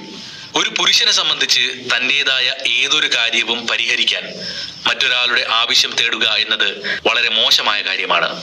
തനിക്ക് ചെയ്യാവുന്ന ഒരു കാര്യമായിരുന്നിട്ട് പോലും മറ്റൊരാളെ ആശ്രയിക്കുന്നത് അത് അയാളുടെ കുറ്റവും ബലഹീനതയുടെ അടയാളവും കൂടിയായി അവർ കണക്കാക്കുന്നു. അല്ലാത്ത പക്ഷം മറ്റൊരാളുടെ സഹായം ആവശ്യമുള്ളിടത്ത് അത് സ്വീകരിക്കുന്നത് സ്വാതന്ത്ര്യവുമാണ്. എന്നാൽ ഒരാളുടെ പ്രശ്നം മറ്റുള്ളവരുമായി പങ്കുവയ്ക്കാൻ ആരെങ്കിലും തയ്യാറായാൽ അതൊരു ഉപദേശാർഹമായ കാര്യമായാണ് പുരുഷന്മാർ കണക്കാക്കുന്നത്. ഇത്തരത്തിൽ സ്ത്രീകൾ എന്തെങ്കിലും തുറന്നു പറച്ചിലിന് തയ്യാറാവുമ്പോൾ പുരുഷന്മാർ വീണ്ടും അവരുടെ ഫിക്സിഡ് ക്യാപ്പുമായി വരുന്നത് അത് സ്ത്രീകൾക്ക് വളരെ സഹായകരമാവുമെന്ന് അവർ കരുതുന്നുണ്ടെങ്കിലും സ്ത്രീകൾ വീണ്ടും അസ്വസ്ഥരായി തന്നെ തുടരുകയാണ്. ഇത് പുരുഷന്റെ സ്നേഹപ്രകടനമാണെങ്കിൽ പോലും ഇവിടെ വേണ്ട വിധം പ്രയോജനപ്പെടുന്നില്ല. സ്ത്രീകളുടെ പ്രശ്നങ്ങളെക്കുറിച്ച് സംസാരിക്കുന്നത് ഒരിക്കലും ഒരു പരിഹാരം വാഗ്ദാനം ചെയ്യാൻ വേണ്ടിയല്ലെന്ന് പുരുഷന്മാർ അറിയേണ്ടതുണ്ട്. സഹാനുഭൂതിയോടും താല്പര്യത്തോടും കൂടി മറ്റുള്ളവരുടെ പ്രശ്നങ്ങളെ കേട്ടിരിക്കുന്നതിലൂടെയും മറ്റുള്ളവർക്ക് പിന്തുണ നൽകാനാവുമെന്ന് പുരുഷന്മാർ അറിയേണ്ടതുണ്ട്. അതുപോലെ തന്നെ ശുക്രന്മാർക്കും അവരുടേതായ മൂല്യങ്ങളുണ്ട്. പുരുഷന്മാരിൽ നിന്നും വ്യത്യസ്തമായി അവർ സ്നേഹം ആശയവിനിമയം സൗന്ദര്യം ബന്ധങ്ങൾ എന്നിവയൊക്കെയാണ് വിലമതിക്കുന്നത്. പരസ്പരം പിന്തുണയ്ക്കാനും സഹായിക്കാനുമെല്ലാം ധാരാളം സമയം ചിലവഴിക്കുന്നവരാണ് സ്ത്രീകൾ. അവരുടെ വികാരങ്ങളിലൂടെയും ബന്ധങ്ങളിലൂടെയും അവർ പൂർണ സംതൃപ്തി നേടാറുണ്ട്. ഇവിടെയാണ് സ്ത്രീയും പുരുഷനുമെല്ലാം പരസ്പരം വ്യത്യസ്തപ്പെട്ടിരിക്കുന്നത്. ഹൈവേകളും ഉയരമുള്ള കെട്ടിടങ്ങളും നിർമ്മിക്കുന്നതിന് പകരം ശുക്രന്മാർ കൂട്ടായ്മയിലും യോജിപ്പിലും സ്നേഹപൂർവമായ സഹകരണത്തിലും ഒരുമിച്ച് ജീവിക്കുന്നതിലും കൂടുതൽ ശ്രദ്ധ കേന്ദ്രീകരിക്കുന്നവരാണ്. അവർക്ക് ജോലിയേക്കാൾ പ്രധാനം ബന്ധങ്ങളാണ്. ചൊവ്വയുടെ നേർ വിപരീതമാണ് ശുക്രന്മാരുടെ ലോകം. അവർ അവരുടെ കഴിവ് തെളിയിക്കാനായി ചൊവ്വാക്കാരെ പോലെ യൂണിഫോം ധരിക്കാറില്ല. നേരെ മറിച്ച് ദിവസവും വ്യത്യസ്തമായ വസ്ത്രങ്ങൾ ധരിച്ച് ആസ്വദിക്കുന്നവരാണ് ശുക്രന്മാർ അഥവാ സ്ത്രീകൾ. സ്ത്രീകളെ സംബന്ധിച്ച് ലക്ഷ്യവും വിജയവും നേടുന്നതിനേക്കാൾ വ്യക്തിപരമായ വികാരങ്ങൾ പങ്കുവയ്ക്കുന്നതാണ് ഏറ്റവും വലുത്. ഒരു ഓട്ട മത്സരത്തിൽ വിജയിക്കുമ്പോൾ ഒരു പുരുഷനുണ്ടാവുന്ന അതേ സംതൃപ്തിയാണ് സ്ത്രീകൾക്ക് ബന്ധങ്ങൾ കാത്തു സൂക്ഷിക്കുമ്പോൾ ഉണ്ടാവുന്നത്. താൻ ഏറെ ഇഷ്ടപ്പെടുന്ന ഒരു പുരുഷനെ ബോധപൂർവമല്ലാതെ വേദനിപ്പിക്കാനും ഒരു സ്ത്രീക്ക് കഴിയും. ഉദാഹരണത്തിന് ടോമും മേരിയും കൂടി ഒരു പാർട്ടിക്ക് പോകുമ്പോൾ ടോം ആയിരുന്നു കാർ ഓടിച്ചിരുന്നത് എന്നാൽ ടോം കാറിൽ ഇരുപത് മിനിറ്റിന് ശേഷവും ചുറ്റിക്കറങ്ങുന്നത് കണ്ടപ്പോൾ വഴിതെറ്റിയെന്ന് മനസ്സിലാക്കിയ മേരി സഹായത്തിന് മറ്റാരെങ്കിലും വിളിക്കാൻ നിർദ്ദേശിക്കുകയുണ്ടായി. പക്ഷേ അവസാനം ടോം ആ പാർട്ടിയിൽ അവരെ എത്തിച്ചു. എന്നിരുന്നാലും ടോം വളരെ അസ്വസ്ഥനായി തന്നെ തുടർന്നു. കാരണം അന്വേഷിച്ച മേരിയോട് അവൻ പറഞ്ഞത് ഇങ്ങനെയാണ്. എന്റെ കഴിവിൽ നിങ്ങൾ വിശ്വസ്തരായിരുന്നില്ല. എന്നതിനുള്ള തെളിവാണല്ലോ നിങ്ങൾ വേറെ ആരെയെങ്കിലും സഹായത്തിനായി വിളിക്കാനായി പറഞ്ഞത്. അതെനിക്കൊരു അപമാനമായി തോന്നി. ഞാൻ നിന്നെ സ്നേഹിക്കുന്നത് കൊണ്ടാണ് ഈ ഒരു സഹായം നിനക്ക് വേണ്ടി വാഗ്ദാനം ചെയ്തത് എന്നായിരുന്നു മേരിയുടെ മറുപടി. മനഃപൂർവമല്ലാതെ സ്ത്രീക്ക് ഒരു പുരുഷനെ വിഷമിപ്പിക്കാൻ കഴിയും എന്നതിനൊരു ഉദാഹരണമാണ് ഇത്. ഒരു പുരുഷനെ സംബന്ധിച്ചിടത്തോളം അവൻ ആരുടെയും സഹായം ആവശ്യപ്പെട്ടിട്ടില്ലെങ്കിൽ അവനത് പരസഹായം കൂടാതെ പൂർത്തീകരിക്കാൻ കഴിയും എന്നതിന്റെ തെളിവ് കൂടിയാണിത്. അവസാനം ചൊവ്വാക്കാരെയും ശുക്രന്മാരെയും മനസ്സിലാക്കിയതിനു ശേഷം ടോമിനെ അത്യാവശ്യ ഘട്ടങ്ങളിൽ എങ്ങനെ പിന്തുണയ്ക്കാം എന്നതിനെ കുറിച്ച് മേരി മനസ്സിലാക്കുകയാണ്. പൊതുവായി പറഞ്ഞാൽ പുരുഷൻ ആവശ്യപ്പെടാത്ത ഘട്ടങ്ങളിൽ സ്ത്രീ ഉപദേശങ്ങൾ നൽകുന്നത് അവന് വിമർശനമായി തോന്നിയേക്കാം. അത് അവരുടെ സ്നേഹത്തോടുള്ള ഉപദേശമാണെങ്കിൽ പോലും പുരുഷന്റെ പ്രതികരണം ശക്തവും അവളെ വേദനിപ്പിക്കുന്നതുമാവാൻ സാധ്യതയുണ്ട്. പല പുരുഷന്മാർക്കും ഒരു ചെറിയ കാര്യത്തിൽ പോലും അവരുടെ ലക്ഷ്യത്തിൽ എത്താൻ കഴിയുമെന്ന് തെളിയിക്കേണ്ടത് വളരെ പ്രധാനമാണ്. അല്ലെങ്കിൽ അത് അവരുടെ ആത്മാഭിമാനത്തെ ചോദ്യം ചെയ്യുമെന്ന് അവർക്ക് തോന്നും. അതുകൊണ്ട് തന്നെ ചെറിയ കാര്യങ്ങളിൽ പോലും അവർ വളരെ സെൻസിറ്റീവ് ആകും. കാരണം അവന്റെ ചെറിയ കാര്യങ്ങളിൽ പോലും വിശ്വസിക്കാൻ ബുദ്ധിമുട്ടുള്ളവൾ എങ്ങനെയാണ് ഒരു വലിയ കാര്യം അവനെ കൊണ്ട് കഴിയും എന്ന് വിശ്വസിക്കുക? ഏതായാലും ഇത്തരം കാര്യങ്ങളിലെല്ലാം സ്ത്രീകളുടെ ഉപദേശത്തിലോ വിമർശനത്തിലോ ഉപരി അവരുടെ സ്നേഹപൂർവമായ സ്വീകാര്യതയാണ് ഏതൊരാണും ആഗ്രഹിക്കുന്നത്. ഇതുപോലെ തന്നെ ഒരു സ്ത്രീ എങ്ങനെ വ്യത്യസ്തപ്പെട്ടിരിക്കുന്നു എന്ന് പുരുഷനും മനസ്സിലാക്കാത്തിടത്തോളം കാലം ഈ പ്രശ്നങ്ങൾ ഇങ്ങനെ തുറന്നുകൊണ്ടിരിക്കും. സ്ത്രീകൾ അവരുടെ പ്രശ്നങ്ങളെക്കുറിച്ച് സംസാരിക്കുന്നത് അടുത്തിടപഴകാൻ വേണ്ടിയിട്ടാണെന്നും മറിച്ച് പ്രശ്നപരിഹാരത്തിനല്ല എന്നും പുരുഷന്മാർ മനസ്സിലാക്കേണ്ടതുണ്ട്. പക്ഷേ തികച്ചും വിപരീതമായ പരിഹാരങ്ങൾ മാത്രം കണ്ടെത്തുന്ന പുരുഷന്മാർ എന്തുകൊണ്ട് തന്റെ ഭാര്യമാർ സന്തുഷ്ടരാവുന്നില്ല എന്നതിനെ ഓർത്ത് വളരെ വിഷമത്തിലാണ്. എന്തൊക്കെ പറഞ്ഞാലും മിസ്റ്റർ ഫിക്സിറ്റ് ക്യാപ്പോ ഹോം ഇംപ്രൂവ്മെന്റ് കമ്മിറ്റിയോ ഒരിക്കലും തെറ്റായ കാര്യങ്ങളല്ല എന്നാണ് ജോൺ ഗ്രേ പറയുന്നത്. ഇവ രണ്ടും ചൊവ്വയുടെയും ശുക്രന്റെയും സദ്ഗുണങ്ങളിൽപ്പെട്ടവ തന്നെയാണ്. ഇത് രണ്ടും പ്രത്യേക സാഹചര്യങ്ങളിൽ മാത്രം പുറത്തു വരുന്നവയാണ്. ഒരു സ്ത്രീയെ സംബന്ധിച്ച് മിസ്റ്റർ ഫിക്സിറ്റ് അവൾ അസ്വസ്ഥയായിരിക്കുമ്പോൾ പുറത്തു വരാത്തിടത്തോളം കാലം വിലമതിക്കപ്പെടുന്നത് തന്നെയാണ്. അതുകൊണ്ട് തന്നെ സ്ത്രീകൾ അസ്വസ്ഥരാവുകയും പ്രശ്നങ്ങൾ സംസാരിക്കുകയും ചെയ്യുമ്പോൾ അത് മിസ്റ്റർ ഫിക്സിറ്റിനുള്ള സമയമല്ലെന്ന് പുരുഷന്മാർ ഓർക്കേണ്ടതുണ്ട്. ഇതുപോലെ തിരിച്ചും ഹോം ഇംപ്രൂവ്മെന്റ് കമ്മിറ്റിയും വിലമതിക്കുന്നത് തന്നെയാണ്. ഈ വ്യത്യാസങ്ങൾ നമ്മൾ മനസ്സിലാക്കണം. സ്ത്രീകൾ പ്രശ്നങ്ങളെക്കുറിച്ച് സംസാരിക്കുമ്പോൾ പുരുഷന്മാർ അതിനെ സാധാരണയായി എതിർക്കാറാണ് പതിവ്. അവൾ അവളുടെ പ്രശ്നങ്ങൾക്കുള്ള ഉത്തരവാദി അവനാണെന്ന് കണക്കാക്കുന്നു എന്ന തെറ്റിദ്ധാരണയിലൂടെയാണ് പുരുഷൻ അവളെ അവഗണിക്കുന്നത്. എന്നാൽ സ്വയം സമാധാനിക്കാനുള്ള വഴിയായാണ് സ്ത്രീ അവരോട് സംസാരിക്കുന്നതെന്ന് അവൻ മനസ്സിലാക്കുന്നില്ല. അവൾ അതിനെ എത്രത്തോളം വിലമതിക്കുന്നുണ്ടെന്ന് അവന് മനസ്സിലാവുന്നില്ല. സാധാരണയായി പുരുഷന്മാർ പ്രശ്നങ്ങളെക്കുറിച്ച് സംസാരിക്കുന്നത് രണ്ട് കാരണങ്ങളാൽ മാത്രമാണ്. ഒന്നുകിൽ ആരെയെങ്കിലും കുറ്റപ്പെടുത്താനും അല്ലെങ്കിൽ ഉപദേശത്തിന് വേണ്ടിയും. ഏതെങ്കിലും ഒരു സ്ത്രീ അസ്വസ്ഥയാണെങ്കിൽ അവൾ അവന്റെ ഉപദേശത്തിന് വേണ്ടി കാത്തിരിക്കുകയാണെന്നാണ് അവൻ കരുതുന്നത്. നേരത്തെ സൂചിപ്പിച്ചതുപോലെ ഇവിടെ അവൻ ഫിക്സിറ്റ് ക്യാപ്പുമായി പ്രത്യക്ഷപ്പെടും. ഈ സമയങ്ങളിൽ സ്ത്രീകൾ ഉപദേശങ്ങൾക്ക് ചെവി കൊടുക്കണമെന്നില്ല. പകരം അവളെ ഒന്ന് കേൾക്കാൻ ശ്രമിച്ചാൽ എല്ലാ പ്രശ്നങ്ങളും അയാളോട് തുറന്നു സംസാരിക്കും.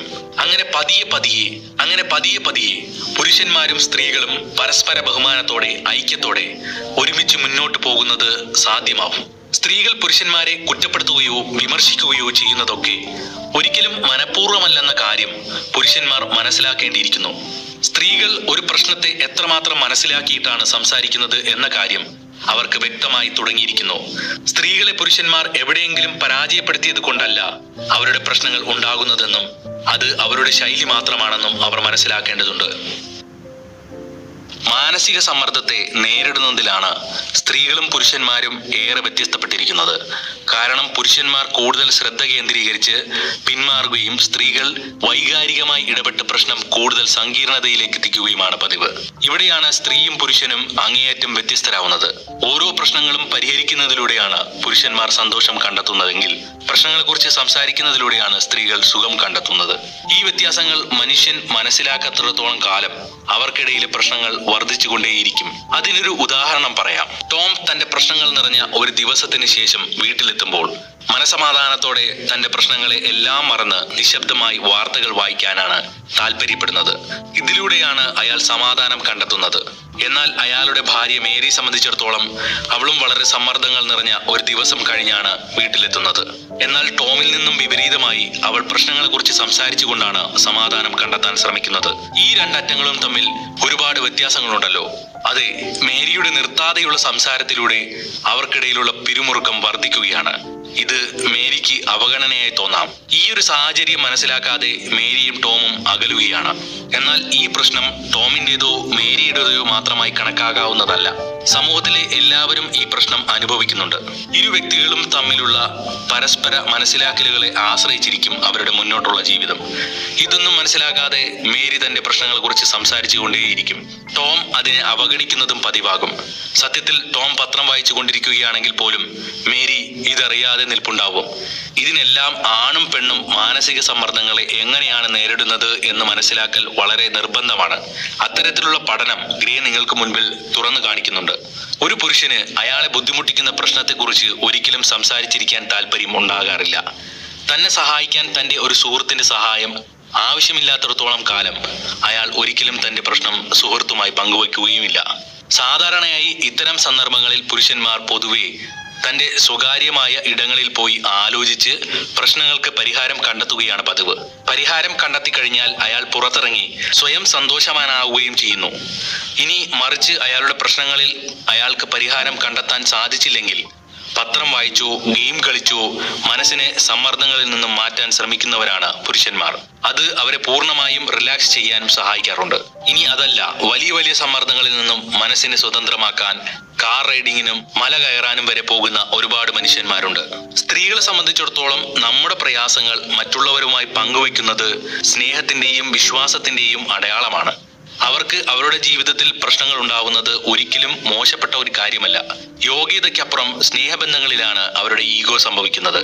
അവർ വളരെ തുറന്നു തന്നെ അവരുടെ പ്രശ്നങ്ങൾ പങ്കിടുന്നവരാണ്. പരസ്പരം സ്നേഹിക്കാനും അവരുടെ പ്രശ്നങ്ങൾ പങ്കുവയ്ക്കാനും ഒരു സുഹൃത്ത് ഉണ്ടാവുന്നതിൽ അവർ സന്തോഷവതികളാണ്. ഒരു പുരുഷൻ സമ്മർദ്ദത്തിലാവുമ്പോൾ അയാൾ തന്റെ ശ്രദ്ധ കേന്ദ്രീകരിക്കുന്നതിനായി തന്റെ മനസ്സിന്റെ ഗുഹയിലേക്ക് അയാളുടെ സമ്മർദ്ദത്തെ പിടിച്ചിരുത്തും. അത് അയാളുടെ പരിഹാരം കണ്ടെത്തുന്നതിന് വേണ്ടിയുള്ള വഴിയാണ്. ഈ ഒരു സമയം മറ്റെല്ലാ കാര്യങ്ങളെ കുറിച്ചുള്ള അവബോധവും അയാൾക്ക് നഷ്ടപ്പെടുകയാണ്. മനസ്സ് ഒരു കാര്യത്തിൽ മാത്രം ശ്രദ്ധ കേന്ദ്രീകരിച്ചിട്ടുണ്ടാവും. അത്തരം സന്ദർഭങ്ങളിൽ പുരുഷന്മാരെ പ്രതികരണശേഷി ഇല്ലാത്തവനായും മറവിയുള്ളവനായും ഒക്കെ സമൂഹം വിധിയെഴുതും. ഉദാഹരണത്തിന് വീട്ടുകാര്യങ്ങളിൽ അവൻ അവന്റെ അഞ്ച് ശതമാനം മാത്രമാണ് നൽകുന്നതെന്നും ബാക്കി തൊണ്ണൂറ്റിയഞ്ച് ശതമാനം അവന്റെ ജോലിയിലാണെന്നുമാണ് പറയുന്നത്. അവൻ പൂർണമായും സ്വബോധത്തോടെയല്ല പെരുമാറുന്നതെന്നും പറയും. ഒരു മനുഷ്യൻ എത്രത്തോളം സമ്മർദ്ദത്തിലാവുന്നുവോ അത്രത്തോളം പ്രശ്നങ്ങൾ അയാളെ പിന്തുടരുന്നുണ്ടാവും. ഇത്തരം സന്ദർഭങ്ങളിൽ സാധാരണയായി അയാൾ ഒരു സ്ത്രീക്ക് നൽകാറുള്ള സ്നേഹത്തിൽ നിന്നും സന്തോഷത്തിൽ നിന്നും ഒരുപാട് ദൂരം പിറകോട്ട് സഞ്ചരിക്കും. എന്നിരുന്നാലും തന്റെ പ്രശ്നങ്ങൾക്ക് പരിഹാരം കണ്ടെത്താൻ കഴിഞ്ഞാൽ പൂർവസ്ഥിതിയിലേക്ക് തന്നെ അയാൾ തിരിച്ചെത്തും. ഒരു പുരുഷൻ തന്റേതായ കാര്യങ്ങളിൽ ശ്രദ്ധ കേന്ദ്രീകരിച്ചിരിക്കുമ്പോൾ പങ്കാളിക്ക് അവൾ അറിയിക്കുന്ന പരിഗണന നൽകാൻ അയാൾക്ക് കഴിയില്ല. ഈ സമയങ്ങളിൽ അവനെ അംഗീകരിക്കാൻ സ്ത്രീകൾക്ക് ബുദ്ധിമുട്ടാണ്. അയാൾ എത്രമാത്രം സമ്മർദ്ദത്തിലാണെന്നുള്ള കാര്യം സ്ത്രീകൾക്ക് അറിയില്ല എന്നത് തന്നെയാണ് ഇതിന്റെ കാരണം. ഒരു സ്ത്രീയെ സംബന്ധിച്ച് പുരുഷന്മാർ എല്ലാ കാര്യവും അവരോട് സംസാരിക്കണമെന്നാണ് അവരുടെ പക്ഷം. അതായത് അവൾക്ക് അയാളോട് കൂടുതൽ സ്നേഹം പ്രകടിപ്പിക്കാൻ ഇത്തരം തുറന്ന സംസാരങ്ങൾ സഹായകമാകുന്നു. ഇതിലൂടെ അവൻ അസ്വസ്ഥനാണെന്നുള്ള കാര്യം അവൾക്ക് മനസ്സിലാക്കാമെങ്കിലും അയാൾ അവളെ അവഗണിക്കുകയാണെന്നുള്ള കാര്യം അവളെ അലട്ടിക്കൊണ്ടിരിക്കും. പുരുഷന്മാർ സമ്മർദ്ദത്തെ എങ്ങനെ നേരിടുന്നു എന്ന് സ്ത്രീകൾക്ക് മനസ്സിലാക്കാൻ സാധിക്കുന്ന ഒന്നല്ല. ഒരു സ്ത്രീയെ സംബന്ധിച്ച് അവൾ സമ്മർദ്ദത്തിലായിരിക്കുമ്പോൾ അവളുടെ വികാരങ്ങളെക്കുറിച്ചും അവൾക്ക് സാധ്യമായ എല്ലാ കാര്യങ്ങളെക്കുറിച്ചും സംസാരിക്കേണ്ടത് പ്രധാനപ്പെട്ട ഒന്ന് തന്നെയാണ്. സമ്മർദ്ദത്തിൽ ഉൾപ്പെട്ട ഒരു സ്ത്രീക്ക് സാധ്യമായ എല്ലാ പ്രശ്നങ്ങളെക്കുറിച്ചും സംസാരിക്കുന്നതിലാണ് പ്രശ്നങ്ങൾ പരിഹരിക്കുന്നതിനേക്കാൾ ഏറെ താല്പര്യം ഇതിലൂടെ അവളെ യഥാർത്ഥത്തിൽ അലട്ടുന്ന പ്രശ്നത്തെ അവൾക്ക് പൂർണമായും തിരിച്ചറിയാനാവും. അവർ സാധാരണയായി മുൻപ് നടന്ന പ്രശ്നങ്ങളോ ഭാവിയിൽ നടക്കാനിരിക്കുന്ന പ്രശ്നങ്ങളോ പരിഹാരമില്ലാത്ത പ്രശ്നങ്ങളോ ആണ് അധികവും പരസ്പരം പങ്കുവയ്ക്കുന്നത്. ഇത്തരം കാര്യങ്ങൾ മറ്റുള്ളവരുമായി വാതോരാതെ പങ്കുവെച്ച് കഴിയുമ്പോൾ അവർക്ക് സ്ട്രെസ് ഫ്രീ ആയതായി സ്വയം കരുതുകയാണ് ചെയ്യുന്നത്.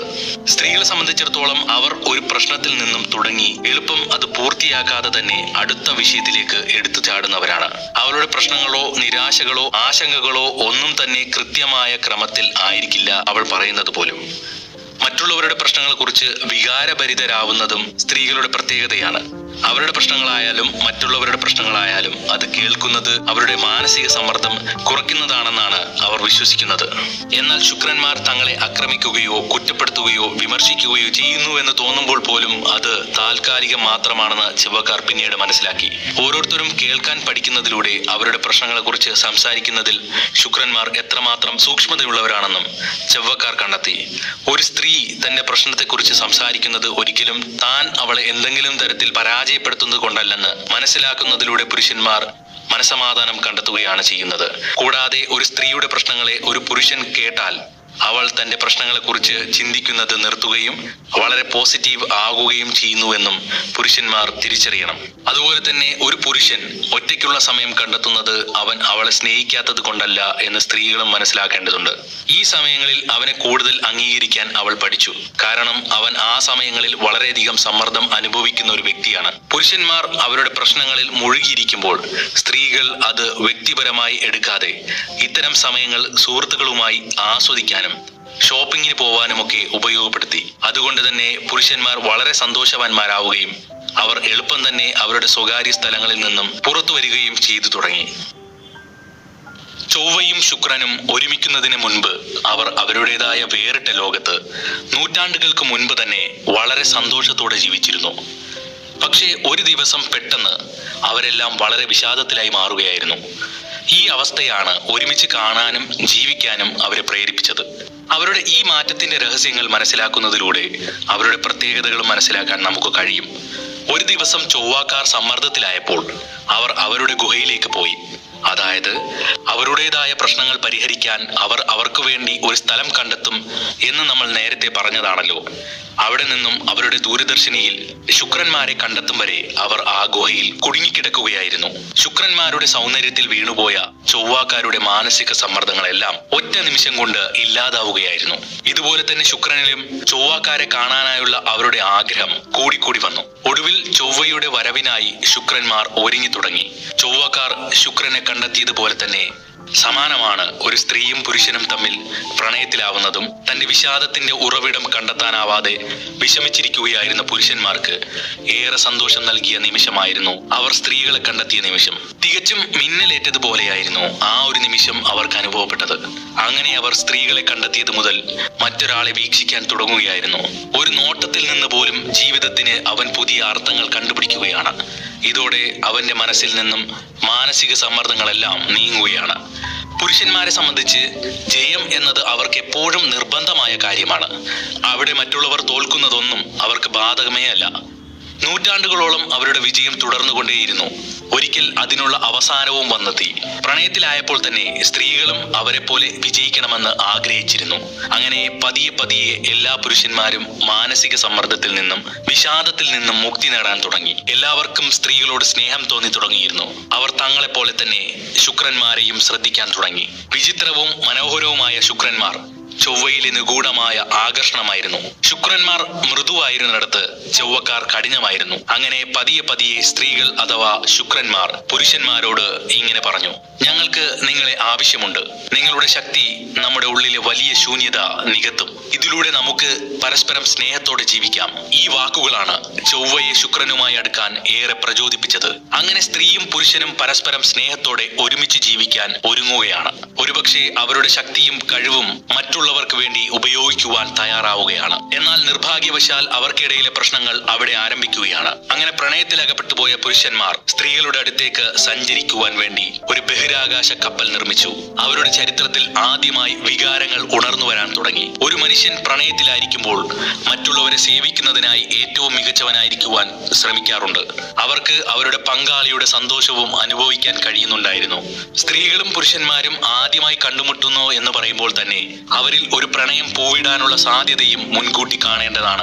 അവർ കണ്ടുമുട്ടുന്നതിന് മുൻപ് ആകാശത്ത് നിന്ന് ഒരു ബഹിരാകാശ കപ്പൽ ഇറങ്ങുമെന്ന് അവൾ സ്വപ്നം കണ്ടിരുന്നു. ശക്തരും കരുത്തുള്ളവരുമായ ഒരു വംശം അവിടെ പിറവിയെടുക്കും എന്നുള്ളതും അവർക്ക് വ്യക്തമായിരുന്നു. അവർ സ്ത്രീകളെ പരിപാലിക്കാനാണ് വരുന്നതെന്നും അവർ വിശ്വസിച്ചു. പുരുഷന്മാർ വളരെ അർപ്പണബോധമുള്ളവരായിരുന്നു. അവർ സ്ത്രീകളുടെ സൗന്ദര്യത്തിലും സംസ്കാരത്തിലും പ്രചോദിതരായിരുന്നു. മറ്റാരുടെ മുന്നിലും തെളിയിക്കാനില്ലാത്ത പക്ഷം തന്റെ ശക്തിയും കഴിവും അർത്ഥശൂന്യമാണെന്ന് വൈകാതെ തന്നെ പുരുഷന്മാർ തിരിച്ചറിഞ്ഞു.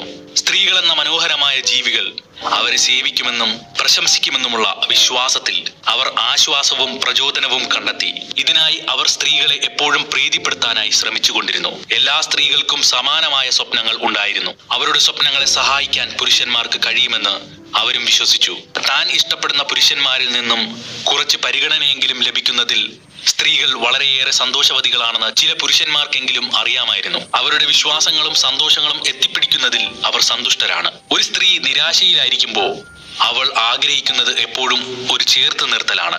അവൾ ഒരിക്കലും ഒറ്റയ്ക്കല്ല എന്ന തോന്നലാണ് അവളുടെ വിജയം. അവൾ മറ്റുള്ളവരാൽ സ്നേഹിക്കപ്പെടാനാണ് ഏറെ ആഗ്രഹിക്കുന്നത്. സഹാനുഭൂതി പരസ്പരം മനസ്സിലാക്കൽ അനുകമ്പ എന്നിവ അവളെ കൂടുതൽ സന്തോഷവതിയായിരിക്കാൻ സഹായിക്കും. സ്ത്രീകൾ എല്ലായ്പ്പോഴും പുരുഷന്മാരുടെ പിന്തുണ ആഗ്രഹിക്കുകയും അതിനെ പ്രോത്സാഹിപ്പിക്കുകയും ചെയ്യുന്നവരാണ്. പക്ഷേ പുരുഷന്മാരെ സംബന്ധിച്ചിടത്തോളം അസ്വസ്ഥരായിരിക്കുമ്പോൾ തനിച്ചിരിക്കുന്നതാണ് നല്ലതെന്നാണ് അവരുടെ പക്ഷം. എല്ലാ കാര്യവും മറ്റുള്ളവരുമായി പങ്കുവയ്ക്കുന്നതിൽ അവർ പോകെ പോകെ മടുത്തു.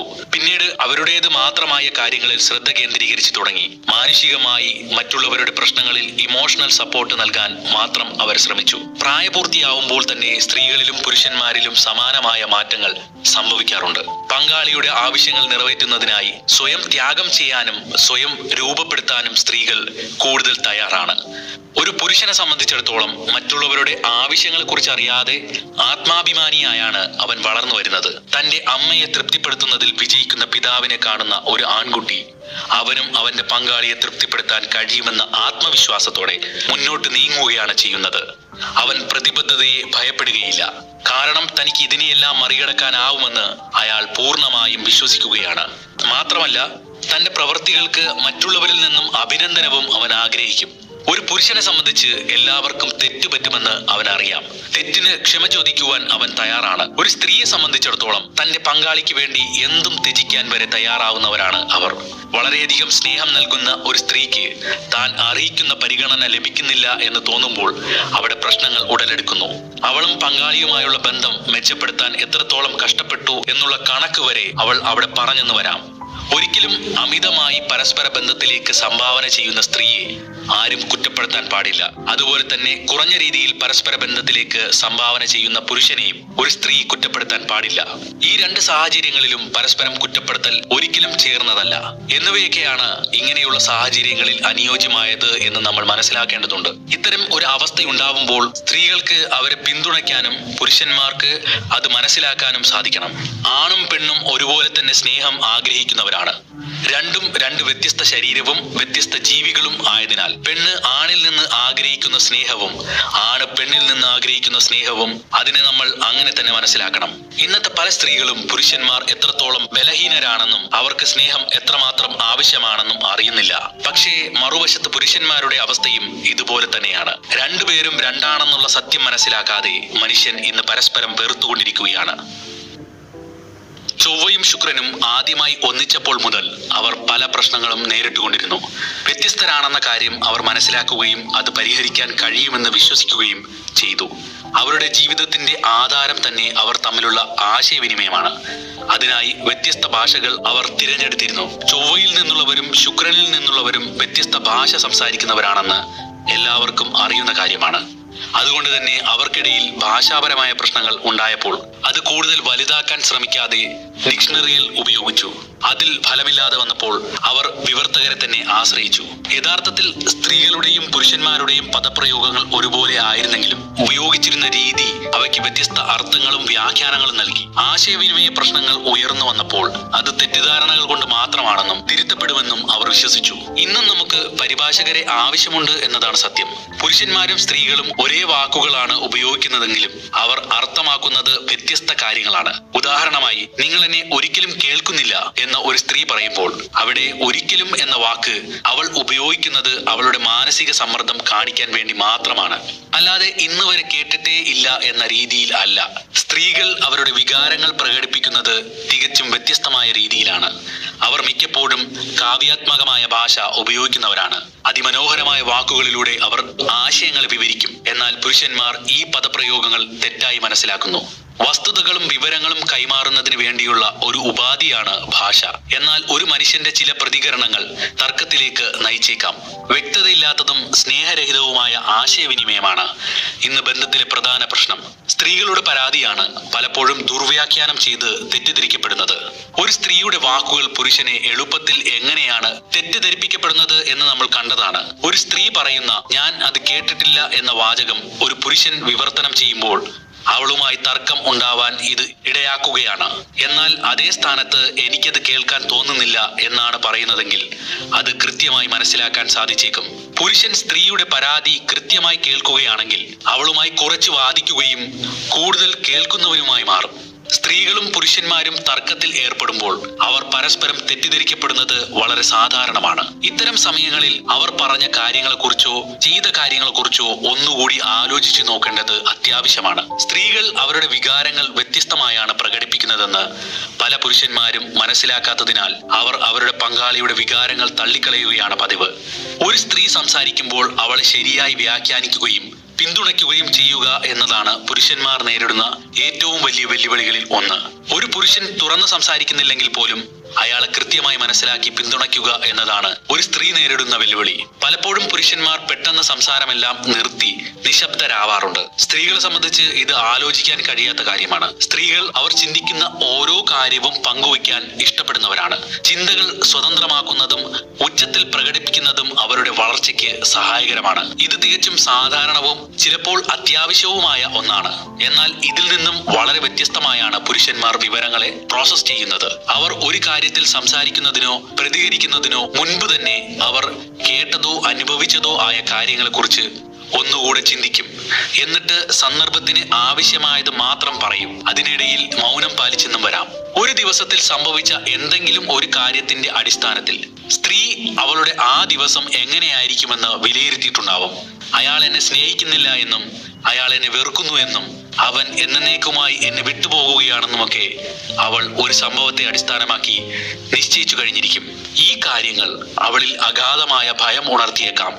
അവൻ അവളെ നിരസിച്ചാൽ അവൾ ഇനി ഒരിക്കലും സ്നേഹിക്കപ്പെടില്ല എന്ന് വരെ അവൾ ദുർവ്യാഖ്യാനിക്കാം. ഒരു ആണ് നിശബ്ദനായിരിക്കുമ്പോൾ അയാളെ എത്ര വേണമെങ്കിലും തെറ്റിദ്ധരിക്കാൻ ഒരു പെണ്ണിന് വളരെ എളുപ്പമാണ്. അവളെ സംബന്ധിച്ച് അവളോടുള്ള പിണക്കമോ പരിഭവമോ കാരണമാണ് അയാൾ നിശബ്ദനായിരിക്കുന്നത്. ഒരു പുരുഷൻ നിശബ്ദനാവുമ്പോൾ സ്ത്രീകൾ അസ്വസ്ഥത പ്രകടിപ്പിക്കുന്നതിന്റെ കാരണം ഇതാണ്. ഒരു സ്ത്രീ മറ്റൊരു സ്ത്രീയെ കേട്ടുകൊണ്ടിരിക്കുമ്പോൾ ഞാൻ നിങ്ങളെ കേൾക്കുന്നുണ്ടെന്നും നിങ്ങളെ പിന്തുണയ്ക്കുന്നുണ്ടെന്നും സംസാരിക്കുന്ന വ്യക്തിയെ എപ്പോഴും ഓർമ്മിപ്പിച്ചുകൊണ്ടിരിക്കും. സംസാരത്തിന്റെ അവസാന നിമിഷം ശ്രോതാവ് അവർക്ക് അനുകൂലമായ മറുപടികളും നൽകും. ഇങ്ങനെ പ്രതികരണങ്ങൾ നൽകാതെ സംഭാഷണങ്ങൾ നല്ല രീതിയിൽ അവസാനിക്കുകയില്ല. നേരത്തെ നമ്മൾ പറഞ്ഞതുപോലെ ഒരു പുരുഷൻ സമ്മർദ്ദത്തിലാകുമ്പോൾ അഭയം തേടുന്ന ഗുഹകളെക്കുറിച്ച് വ്യക്തമായി മനസ്സിലാക്കിയാൽ അയാളുടെ നിശബ്ദതയെയും നല്ല രീതിയിൽ വ്യാഖ്യാനിക്കാൻ കഴിയും. തങ്ങളുടെ ബന്ധങ്ങൾ പൂർത്തീകരിക്കുന്നതിനായി സ്ത്രീകൾ യഥാർത്ഥത്തിൽ ഒരുപാട് കാര്യങ്ങൾ പഠിക്കാനുണ്ട്. ഒരാൾ അസ്വസ്ഥനാകുമ്പോഴോ സമ്മർദ്ദത്തിലാകുമ്പോഴോ യാന്ത്രികമായി തന്നെ സംസാരം നിർത്തി അവന്റെ ഉള്ളിലെ ഗുഹയ്ക്കുള്ളിലാകുമെന്ന് ഓർക്കണം. അവന്റെ ഏറ്റവും അടുത്ത സുഹൃത്തുക്കളായാൽ പോലും അവൻ ആ ഗുഹയ്ക്കകത്തേക്ക് പ്രവേശിപ്പിക്കില്ല. കുറച്ചു സമയത്തിന് പുരുഷന്മാരെ അവരുടെ ഗുഹയ്ക്കുള്ളിലേക്ക് കടക്കാൻ സ്ത്രീകൾ അനുവദിക്കണം. കുറച്ചു സമയത്തിന് ശേഷം എല്ലാ പ്രശ്നങ്ങളും തീർത്ത് അവർ പുറത്തേക്ക് വരുമെന്ന് പ്രതീക്ഷിക്കാം. ഇത് മനസ്സിലാക്കാൻ സ്ത്രീകൾക്ക് പൊതുവെ ബുദ്ധിമുട്ടാണ്. കാരണം അവരുടെ സുഹൃത്ത് അസ്വസ്ഥരായിരിക്കുമ്പോൾ ഉപേക്ഷിക്കുവാൻ പാടില്ല എന്നതാണ് അവരുടെ നിയമം. ഒരു പുരുഷൻ അസ്വസ്ഥനാണെങ്കിൽ പോലും അയാളുടെ ഗുഹയ്ക്കുള്ളിൽ ചെന്ന് അയാളെ പരിചരിക്കാനാണ് സ്ത്രീ ഇഷ്ടപ്പെടുന്നത്. അതുപോലെ തന്നെ അവന്റെ സുഖവിവരങ്ങൾ ഇടയ്ക്കിടെ അന്വേഷിക്കുന്നത് അയാൾക്ക് സന്തോഷം നൽകുമെന്നും അവൾ തെറ്റിദ്ധരിക്കുകയാണ്. ഒരു പുരുഷൻ മാനസികമായി തയ്യാറെടുക്കുന്നതിന് മുൻപ് തന്നെ അയാളുമായി സംസാരിക്കാൻ ഒരിക്കലും ഒരു സ്ത്രീ ശ്രമിക്കരുത്.